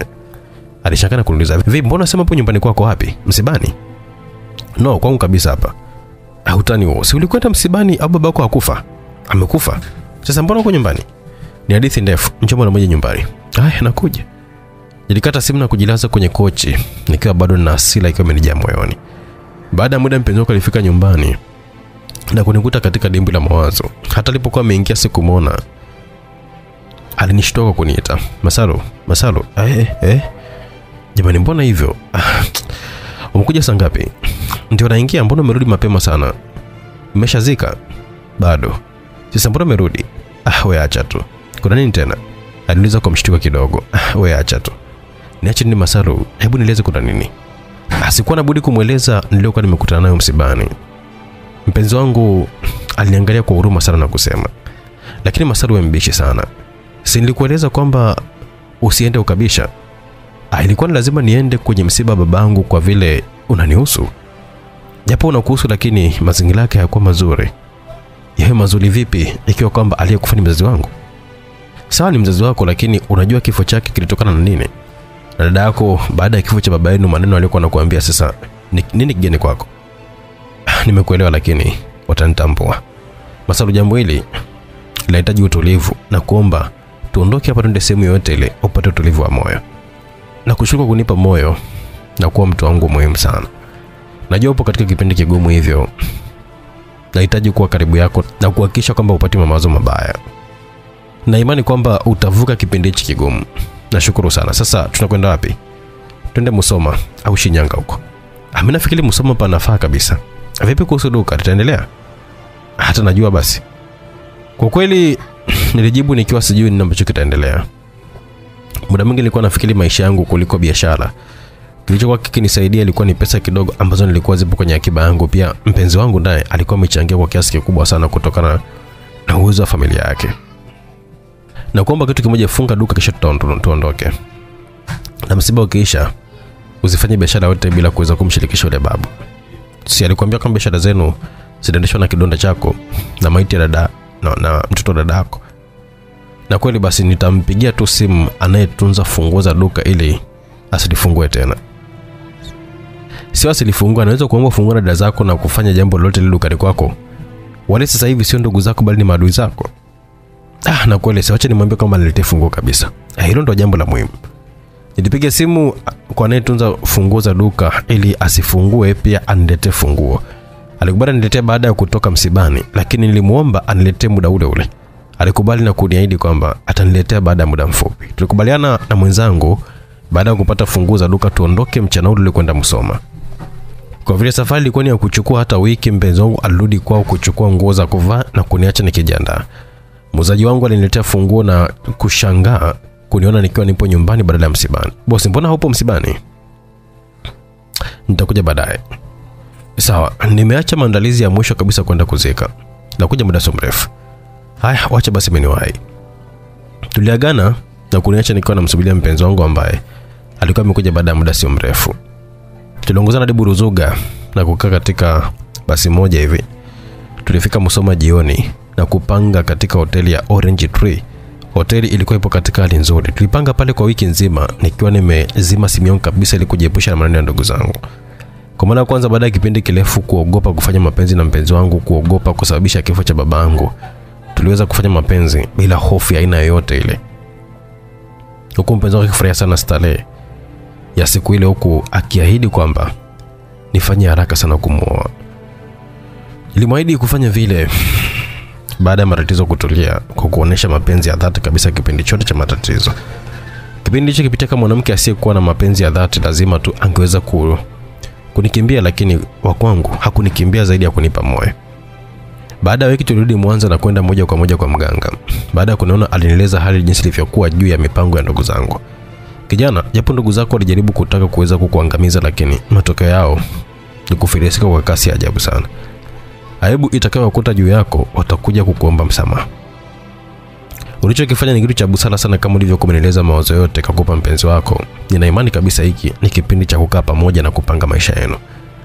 Kuhusu duka, nitalifanyia zindiko kuhakikisha kwamba ndugu na familia haikupati kabisa, na kazi itafanyika usiku.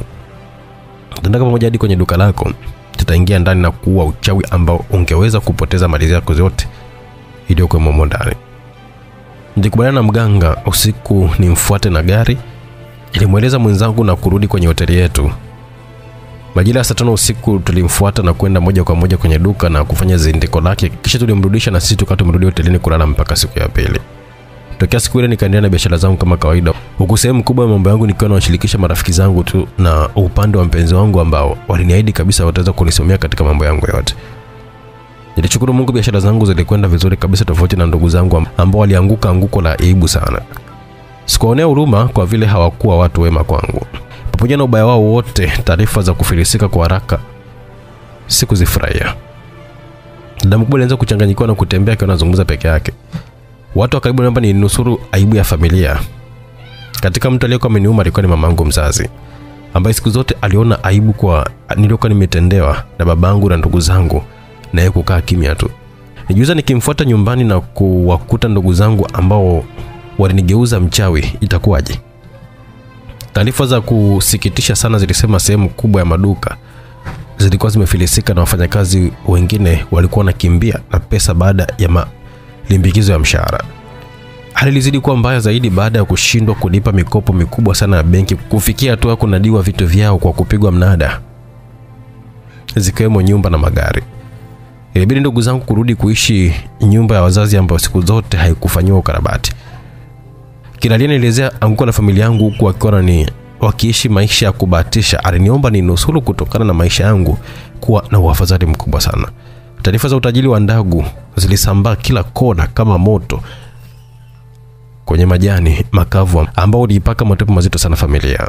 Kilichoshangaza watu wengi ni anguko la familia yangu, lakini upande wangu mambo yaliendelea kuninyokea tu. Niliamua kumchukua mama yangu na kukaa naye. Kila tulipokuwa wawili, mama alitumia muda mwingi sana kuniomba msamaha kutokana na yote ambayo alikuwa amenitendea. Nilimweleza mama kwamba sitaweza kumlaumu, ila sitawasamehe ndugu zangu.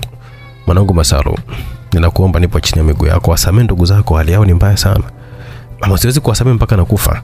Hebu naomba, nipo chini ya miguu yako tafadhali. Mama, kama ningelikufa angewasamee nani?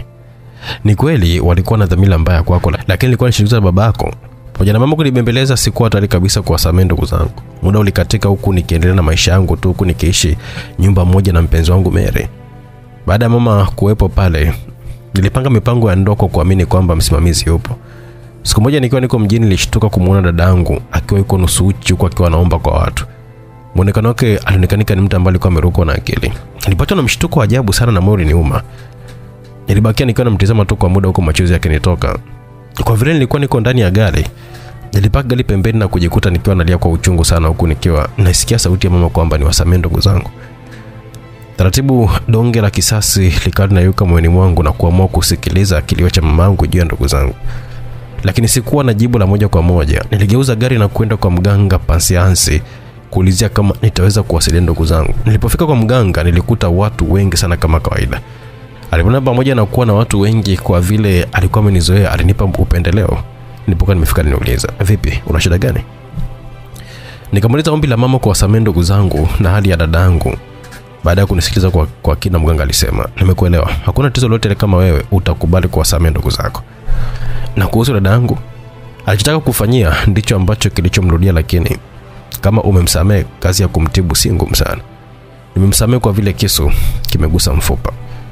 Basi mleteni hapa apate tiba. Baada ya makubaliano na mganga, nikarudi nyumbani na kumweleza mama kwamba nipo tayari kuwasamehe ndugu zangu na kumtibu dada.